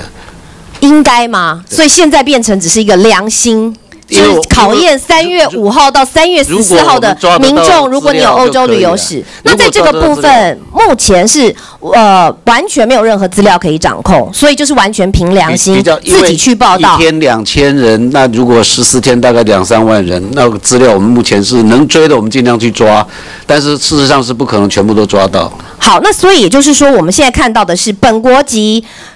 的人当然还可以入境，但是外国籍的人从十九号的凌晨就不能入境了。是而我们现在看到的是，许多你来自于欧洲，包括这个呃人士是禁止的，但是我们的很多旅游团陆续回来的时候，那等于是增加了这个检疫人数啊、居家检疫你要去了解的人数，还有就是增加了我们第一线医护人员他的。这个所谓他的精神上面，或是面对医疗上面的压力，这个数字是增加的。所以我想要问部长是，那么现在在我们的医护第一线医护人员上面，是不是有所谓过劳的情况？呃，我们都有请相关的医疗院所去做人力的调控啊。那我们自己 CG 的同仁是从过年前到现在都是非常辛苦，尤其他要做疫调，然后不眠不休，甚至有些个案是半夜都必须要去处理的很多。呃，我我想我们自己 CDC 对于同仁的调度，包括从部里面相关的人力的资源，我们都尽量在做。其实我知道，当然现在全国各地也都非常感谢第一线的医护同仁他们的辛劳哦，所以包括刚刚有几位立委同僚也都希望能够提升所谓的危险加给跟津贴。我们来看到国外的例子，不论韩国啦、意大利啦，或是中国，都出现了过劳或集体崩溃。我们是真的很感谢现在第一线的医护还在坚守岗位。但是如果我们来看一下，在台湾的护病比当中，医疗中心九人以下，区域医院的话是十二人以下，那么地区医院是十五人以下。如果这是规定，但是如果就实际的现实面我们来看，是不是在大小夜班？或在各科之间，是不是有做一些人力调度？是不是都完全在不论是中央或者是地方中心或区域的部分，都是超过了这些互并比呢？他们是不是现在都是在硬撑、在苦撑？那如果说我们都不知道现在还有多少时间要来撑过这个疫情的时候，他们的辛劳真的只是用金金钱上面来回馈他们而已吗？呃，更为说明，如果对于一些照护这些有染病的，我们会做那个医师一比十，然后护理同仁一比五，再做调整。所以不是只一一不是一比九而已，我们给他一比五，甚至1比五呃，对对，有专责病房。对，专责病房一比五。好，那么我只是希望透过今天的咨询哈，来提醒一下，就是说医护人员他们在接下来可能面对的是更长的长期抗战，在这边的护病比当中，也请要更多加的留意，好吗？好，谢谢。谢谢。好，谢谢林委员，也谢谢委部。我们接下来请王文玉委员宣答。王委员，请。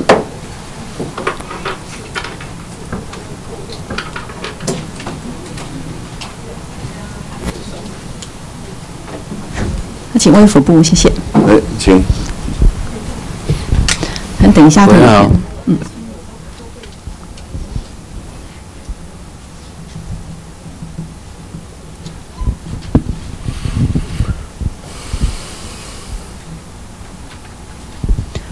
主要还是想要请教这个医院医事人员相关的防疫的部分哈，因为上次其实有在咨询这边问过说，陈部长是回复说，在这个自主健康管理的部分是各医院自己的自己的的定的过程，所以并没有在这个补偿的规划当中由医院和呃医疗人员自己来商协商。那我们想请教的是说，呃，后来我们又接到说相关的相关的呃你们单位或者是说疾管局有回复说这个部分，因为他们也接到不断的澄清，再加上说这个自主管理这件事情其实是有公文直接到医医院去的，并不是医院自己发起的，所以这个部分协定的办法和过程其实都会尽快的来处理。想请教说，这个补偿办法是不是已经定好了？那因为医医呃医疗人员其实一直都还没有收到正式的通知，说在这上相关的医疗会是什么时候，相关的补偿什么时候会公布？呃，这部分我们请了医师司司长来做说明。呃，跟委员报告，我们针对的是，因为这个预先在二月二十三号之前已经预定出国缴的费用，那之后因为防疫需要而取消出国的所有的损失，由我们这个呃特别预算这边呢，那么给全额的补偿。所以并没有针对这后来的自主管理的十四天内给予相关的办法补偿，所以就是这样不出国了。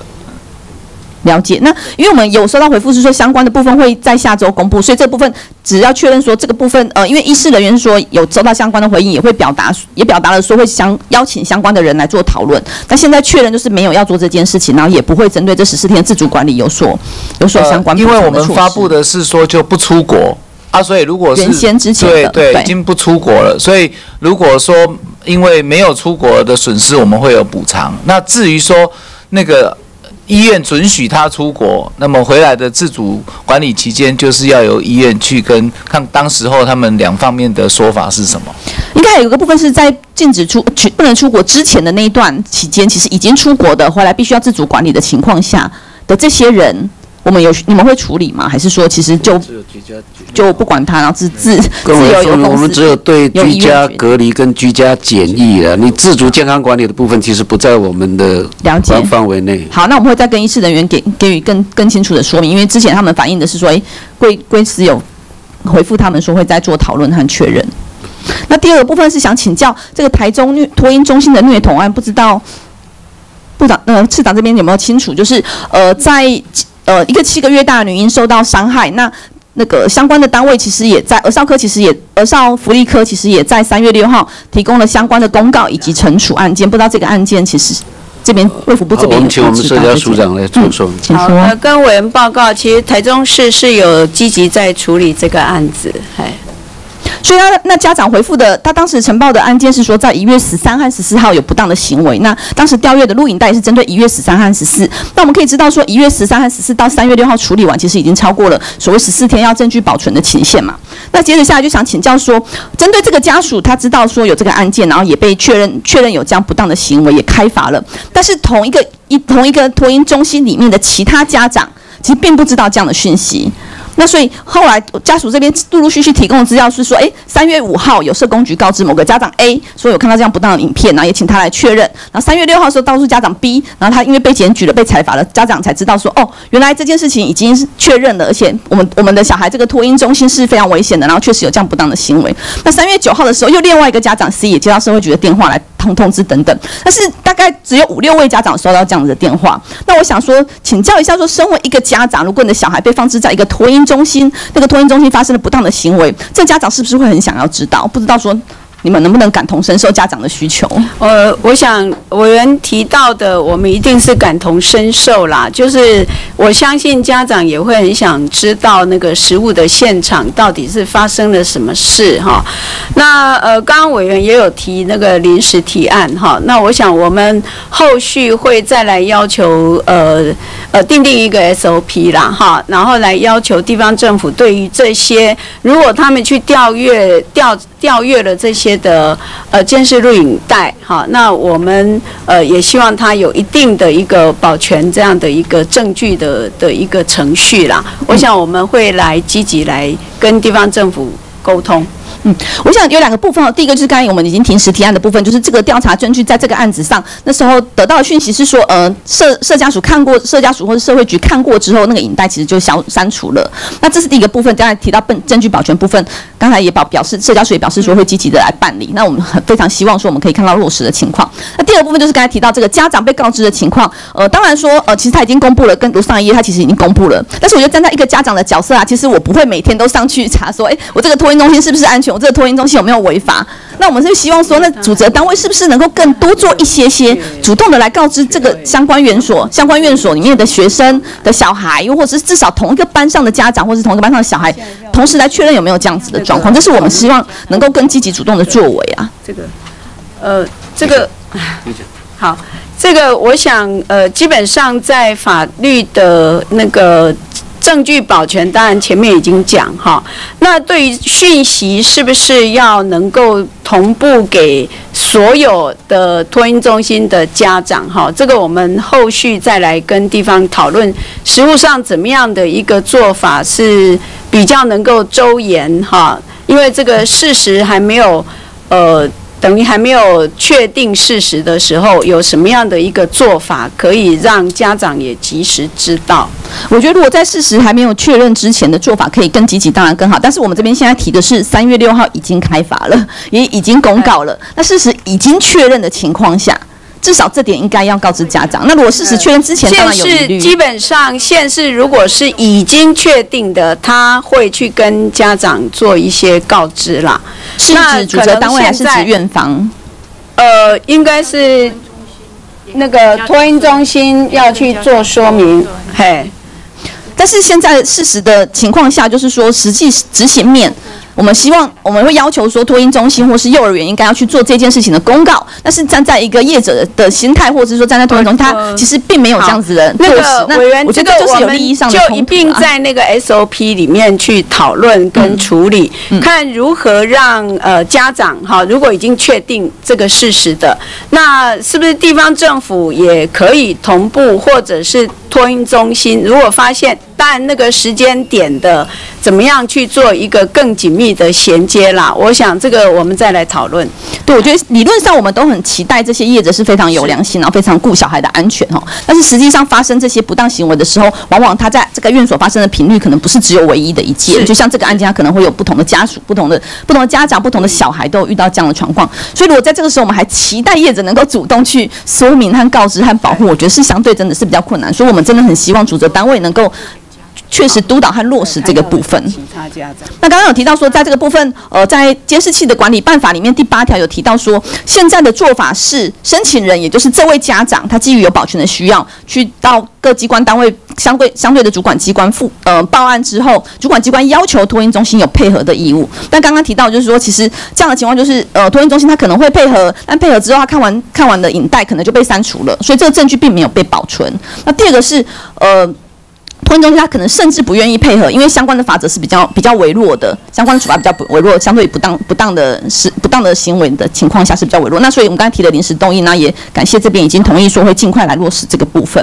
但我们想要提提出来的是说，呃，我们认为社政社政单位应该要积极的保全，不能一直仰赖托婴中心，他要主动保全，主动积极的提供，主动怎么样怎么样？因为我就刚刚我说的，如果发生这种情况，通常那个托婴中心他可能不是一个这么优良或是这么有良心的的的的业者啦。所以我们真的。希望说站在保护孩童的立场上，社会局应该也有这样子的责任和这样的义务，去把证据做做于做一个保全。所以刚刚提到这几项的部分，我们很希望说这都都能够落实。那其实包括说刚刚通知家长的部分，我们可以看到在这个新北市的案例，它其实社会局就非常的积极的召开家长们说说明会，而且也主动协调处理这个因为家长因为担心而退园而退学的这个状况，而转学的这个状况的费用的处理，其实在新北市都已经有积极的落实。所以我们认为在执行面上应该没有难度啊，只是在各县市的做法不一样。以台中这间就是家长要求之后，托婴中心贴了一个公告在门口一个一个角落这样子。那我觉得那就是一直仰赖说，哎，家长真的要积极主动，然后到处走啊，到处看才有可能知道这个学校发生了什么事情。那我们很希望说，真的社会局拜托站在小孩的立场上，一定要主主动积极的来协助家长跟小孩来做这件事。要求呃地方政府来呃落实这相关的一些规定。是，所以针对这几项，刚刚有提出来说，我们是希望一个月，但是因为我们也理解说防疫期间大家可能比较难召开相关部会的讨论，所以同意在两个月内。但是我们还是想要强调一件事情是，这个呃监视器管理办法是在今年一月通过的，那预计是七月要上路。那大家也知道说，这段期间其实一直可以看到，几乎每个月都有托婴。托婴中心或者是幼儿园相关的儿虐事件的产生和出现，那我们很希望说，在七月上路之前，就应该要跟积极主动的来处理这个部分，不要说，哎，因为七月还没有上路，所以这段期间我们暂时都不是我的责任这样子。我很希望说，大家积极主动来防范儿虐的情况的发生。谢谢。是。好，谢谢王委员的询答，也谢谢卫务部。我们接下来请杨琼云委员询答，杨委员请。哦，是这样，请。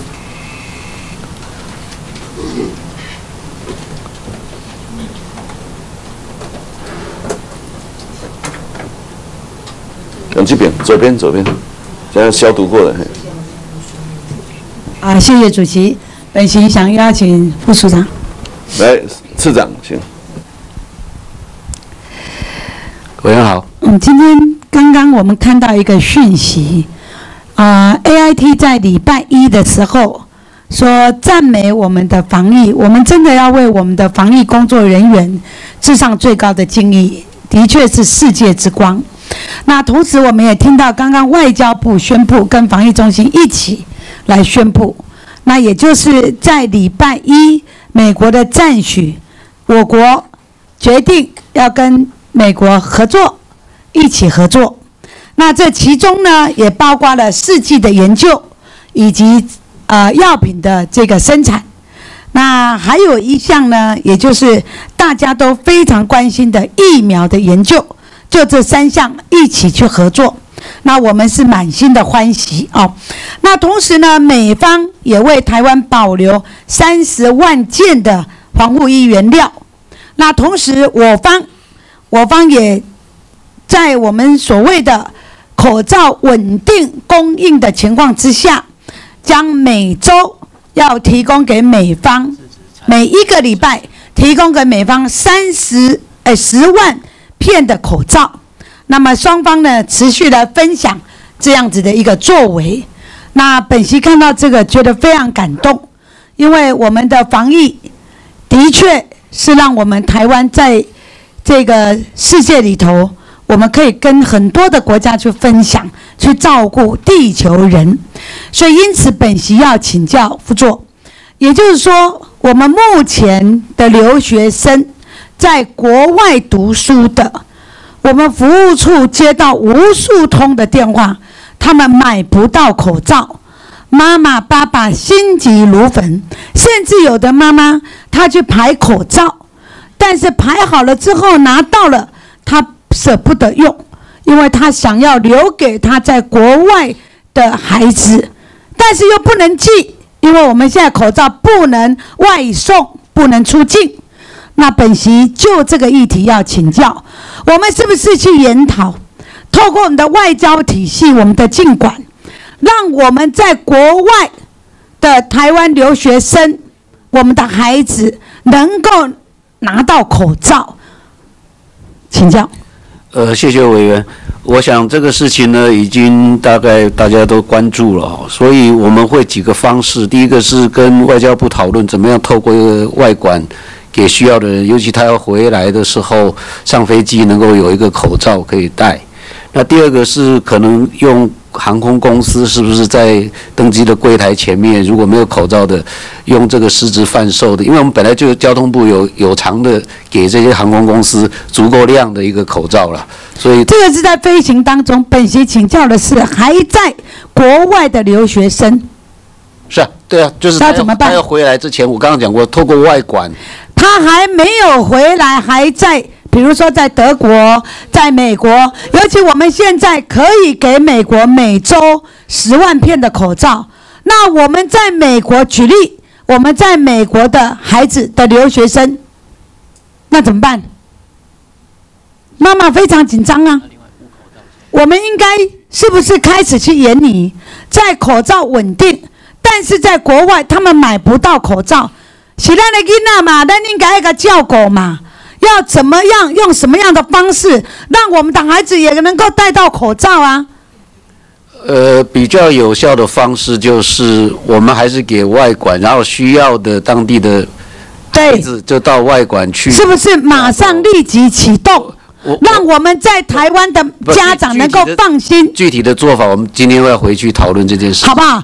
这赶快讨论好不好？我非常感谢你要讨论，那我们也希望什么时候可以给我们答案，可跟不可，因为家长都很紧张。我知道，所以请教这个我们什么时候可以给答案？今天回去讨论，我是因为我今天都在这里。对对对对对对。晚上六点是有一个指挥中心的会议，那就把这个议题放进来好吗？我们希望明天可以得到一个方向。让家长来放心嘛，哈，我这个我觉得是非常的必要哦。在国外强再次强调，在国外的学生，我们的留学生，希望能够让他能够拿到口罩哦，这个让他的家长能够放心。我们一起国内外一起防疫，好吗？谢谢你啊。接下来我要请问哦，也就是我们看到这个呃要合作了。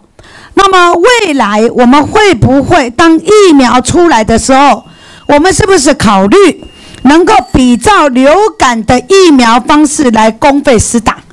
请教。目前是在美国有西雅图直接在做人体的测试啊，跳跳过动物实验。当然，如果我们有足够的量，我们会提到专家会议上面，请专家一起来讨论这件事情。好，所以有朝这个方向哈，让大家能够安心。这是第二个。最后一个议题，从一百零七年到一百零九年疫苗基金，因为大家重视到这一块，我觉得在本席认为在研发的人非常辛苦，而且这个可以救全世界的人，所以我做了一个统计，一百零七年到一百零九年，我们的疫苗基金已经都是收支不平衡。那么一百零七年不足的是一点六五亿，一百零八年不足近四点六亿，一百零九年我们预估应该会达到不足 minus 的五点五亿，所以这样子疫苗费用的支出是大于收入的时候，我们非常清楚，疫苗基金的来源主要是烟捐跟公务预算。那本席请教，因为昨天我在财政委员会请问了部长，我说我们所谓的加热烟，到目前为止，从一百零五年到现在，有的甚至在海关扣留在那里，那我们到现在还没有认定到底要不要课这个税，因为现在财主单位我们看到数字，我们是比去年预计要减少二十亿。的烟捐收入，那如果是如此，我们的疫苗基金更会不足。所以本席两个小指向议题：第一个，加热烟，因为财主单位说要由卫务部来确认加热烟到底要不要纳入，是不是认定要克烟捐？我们什么时候会出来？已经两年多了，请教。呃，因为那个烟害防治法去年有提出，那现在是我们重新再定定，那应该是这个会期就会呃做一个那个呃把这个所谓烟害防治把加热烟跟所谓的电子烟的部分纳入我们的烟害防治法里面的修法当中。这个会请会出来，我们希望审查过。你们什么时候要提出来？因为他现在重新去呃审什么时候？两个月，因为有六十天的公告期。对啊，财主单位也在定。应该是下一个会期去提出，因为就什么时候提出？下一个会期之前。下一个会期之前。因为这个会期要六十天的公告。所以下一个会期之前会提出你们的版本，将加热烟跟将电子烟纳入啊。财主财主单位都在等，因为很多都还扣在海关里面。防治法里面的一个修法当中。所以是下个会期前。你们会提出来，对对，所以我们要确认。第二个，也就是那么疫苗基金除了这个，还有一个公务预算，你们有没有？或者你们有没有请行政院来支援这个公务预算？我们每一年都会尽量去争取了，但是财主单位可能有别的考量，但是委员今天这样提出来，我们会持续来努力。一定要加油嘛，因为这个是非常重要，生命诚可贵。我们也再一次的。要感谢我们所有的防护人员以及医护人员。那么，同时我们也知道预防重于治疗，所以针对我们疫苗基金不足的部分，除了刚刚所说的下个会期前会提出这个部分烟捐的认定的这个部分，另外也就是公务部门的部分，也请胡作为为你们自己卫务部要加油，我们一定会全力支持。谢谢。好，嗯。谢谢杨委员的询答，谢谢嗯，卫务部。我们哈预计在欢迎委员哈执行完以后休息半小时啊。那我们接下来请吴玉华委员询答，委员请。左边的。主席好，有请次长。次长请。委员好。哎，次长好，我想每一个委员上来一定要说我台湾我骄傲，因为我们最近防疫的表现受到全世界的瞩目跟肯定，所以在这个地方要特别的致上我们的谢忱敬意。那我想我们的医疗技术跟体系展现这么好的一个成果，我们会希望我们能够有一个更大的突破，居于领先的地位。所以有一些问题，我们也必须要去正视，因为面对这些问题是为了追求更好。那我想要请教我们的次长，就是我们常常在提我们的幼儿死亡率、夭折率，其实跟其他的 OECD 国家来比，真的是居高不下，相差甚远。那我想这个部分的原因，应该您也了解，就是少子化之后。可能我们在妇产科医师、儿童专科医师方面就是越来越少。那么它最大的原因可能是在缺乏我们有没有投注诱因，或者是我们在整个政策的整合有没有去关注。那另外第二个，我也想要跟次长来讨论的就是，谈到原住民，很多人想不通，为什么他们住在好山好水的地方，可是没有好寿命？那我想这个部分也是常年这个 gap 都一直没有办法弭平，就是远远低于全国国民的平均余命。那我们也想知道，到底原因在哪里？也许就如我们所说的，因为医疗体系在原乡不够好，那医疗政策不够好，所以想要问我们次长，就是说，在这样的一个状况之下，我们的原山医师人员少，每一位医师他要服务的人数比人家多那么多倍，那我们的医疗机构少，那造成了我们要就医都非常的困难。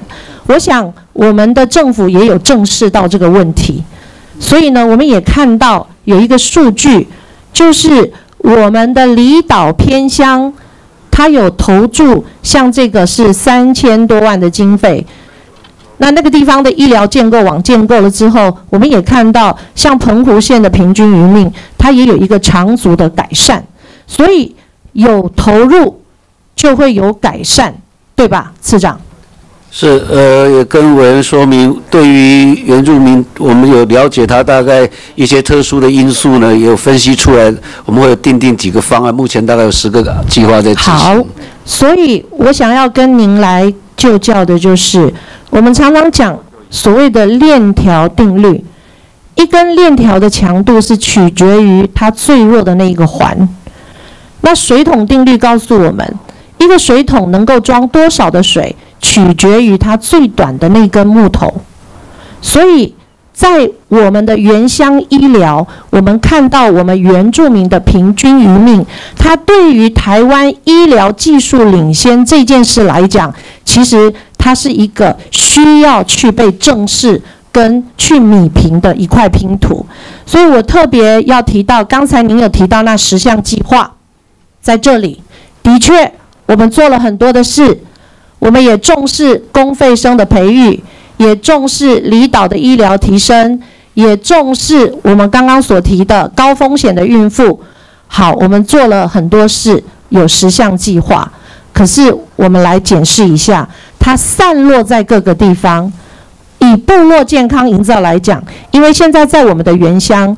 我们都听得到部落健康营造，所以我想要特别问问我们的次长，请问您认为部落健康营造他想要做到什么？主要是让我们所有的原住民朋友能够提升他的健康势能，然后到行为上面也能够有一些改变，然后长久的话才会营造出一个健康的环境。好，那我们来看一下。您知道部落社区健康营造每一处是补助多少钱吗？五十万。那您知不知道扣除人事成本之后剩下多少钱？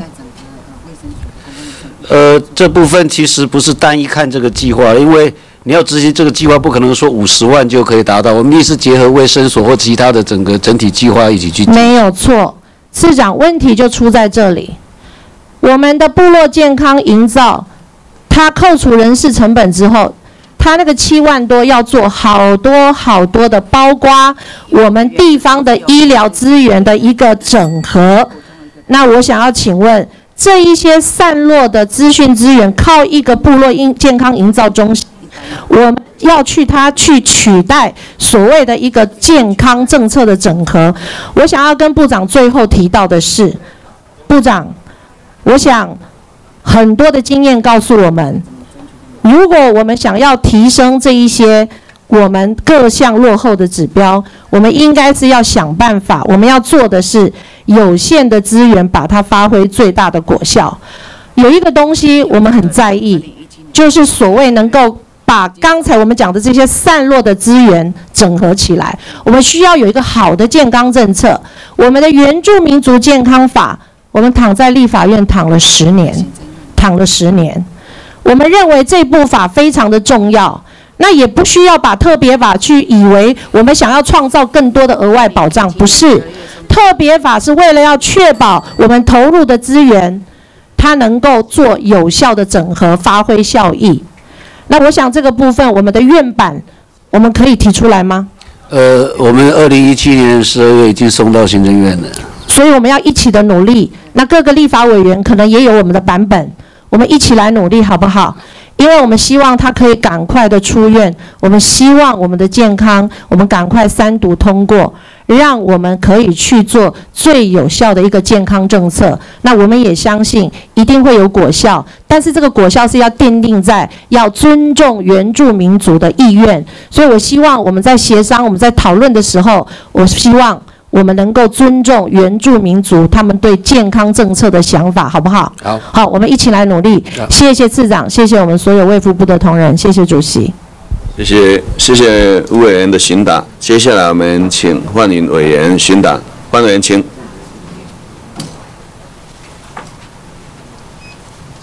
好，请左边的，左边的是干净。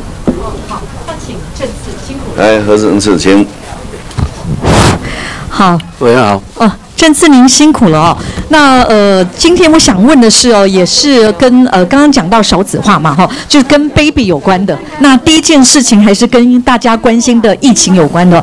那我想呃，因为台湾现在有很多坐月子中心哦，那大家知道坐月子中心本来就对管控是很严格的，进来的人就算只是访客哦，也要量体温消毒，而且只能隔着玻璃看 baby 哦。很多阿公阿妈连报都没有办法报到哦。而且这次其实指挥中心已经给所有的包含就是呃包含呃坐月子中心的所有的护理之家啊，都有一个要求说要问 TOCC，就是问流史哦，什么传染。我想这个部分我们就不复述了。可是现在我们接获到民众陈情哦，民众说，哎，很奇怪，同样是坐月子中心，但他们如果到医院附设的坐月子中心的话，其实只是去看的当个访客，没有医疗行为哦，那也没有接触到 baby，都会被过健保卡。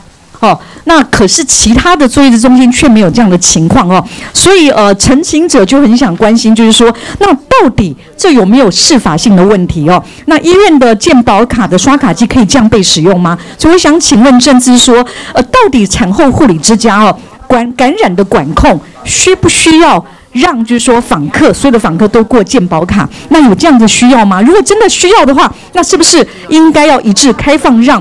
不是在医院附设的坐月子中心哦，就是都能够这样的使用。那如果没有必要的话，那对于这些因为他在医院附设单位哦，就是说就有这个权利的，是不是应该也要做一些相关的处理？好，呃，跟委员说明，基本上防疫的考量之下，我们当然是乐观的，希望这个看待这些医院附设的产后护理之家能够维持它的一个访客的管制。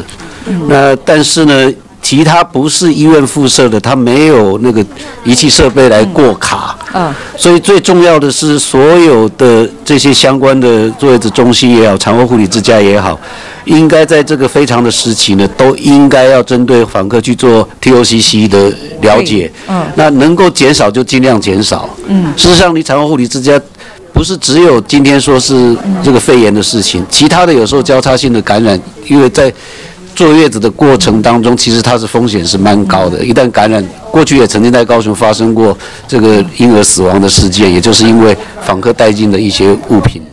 所以政次的态度是说，呃，因为其实很多医院附设的坐月子中心，它在空间上完全区隔了，哦，就是说只是因为挂个医院的名字，所以政次是觉得说，如果能够这样都过健保卡就更好，所以不需要处理，也不需要其实过健保卡只是一个比较方便的做法，哦。但如果今天你任何一个访客进来，如果没有健保卡，至少登记说啊你是身份证也可以，对，或者留下电话号码也可以。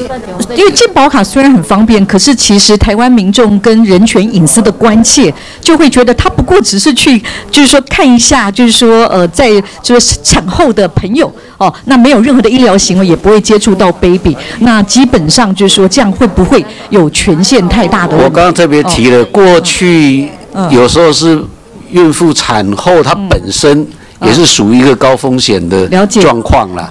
所以如果是这样，作业的中心是不是统一都让他们也有相关的权利？我觉得这应该是对我一致的刚刚讲的意思是说，他们没有健保卡的过卡的设备，嗯所以是不是就可以登记？就像一般你进大厦管理嗯一样，都要一个访客登记这样的。好，了解。好，那我们现在了解政策态度了，就是说，呃，至少希望能够有一致的做法。比如说，也请作业的中心，那也要登记访客的名字。我想这样就比就是虽然没有机器可以更一致哦。那再来有另外一个也是相关跟 baby 有关的，就是呃，这呃要请社家属，社家属的网站有关于就是说现在各县市的托婴中心哦违反儿少权利的哈、可是你可以看到，如果去看地方社会局的话，两边非常的不一致。社家属的网站没有跟更新到最新，而且只有托育人员跟托育中心哦，那跟地方社会局网站这个部分哦不大一样。那如果对民众来讲的话，两边的内容又不一致，查询非常的困难。譬如说你去地方社会局，他把很多不相关的资讯也放进来哦，跟托婴这些无关的。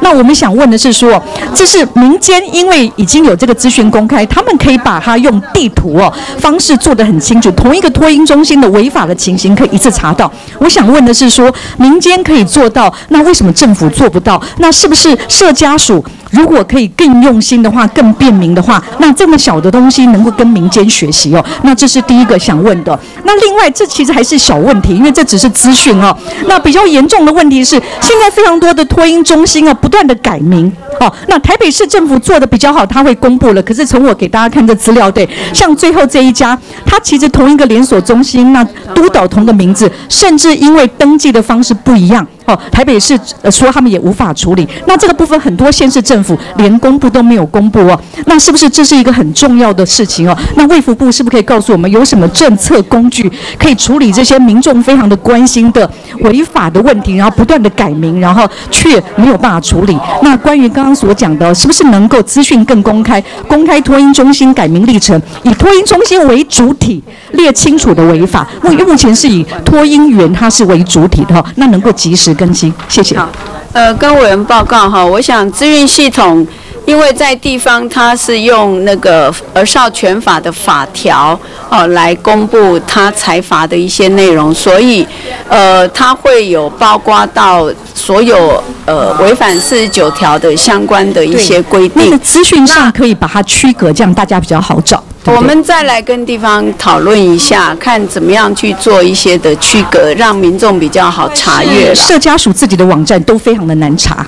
好、哦这是我们也去查过系统我们。再来强化看看如何去处理哈。那另外就是那个托运中心负责人改换的部分，不断的改名，而且很严重。对，那现在就是负责人是不是列为呃怎么样？那个需要再修呃权法哈，才有呃，因为这个涉及到人民权利，你禁止他。那我们现在是有托育人员的一些消极资格啦。对，哎，那你管的这个比较弱势的托育人员，反而没有管托婴中心，是不是能够针对这个部分？因为今天时间不够哦，呃，可以多少时间内可以给我一个呃报告？因为如果要修法的话，我们很支持。呃，我们再来跟委员这边办公室这边联系，看呃有没有什么做法可以更精进。好，那谢谢您，希望尽快哈，感谢谢谢主席，谢谢。嗯，尽快处理哈。谢谢范委员，谢谢卫部同仁。那我们按照我们原来的时间哈，也都呃，那我们休息半小时给大家用餐哈。那休息半小时以后，我们就回来再继续会议。谢谢。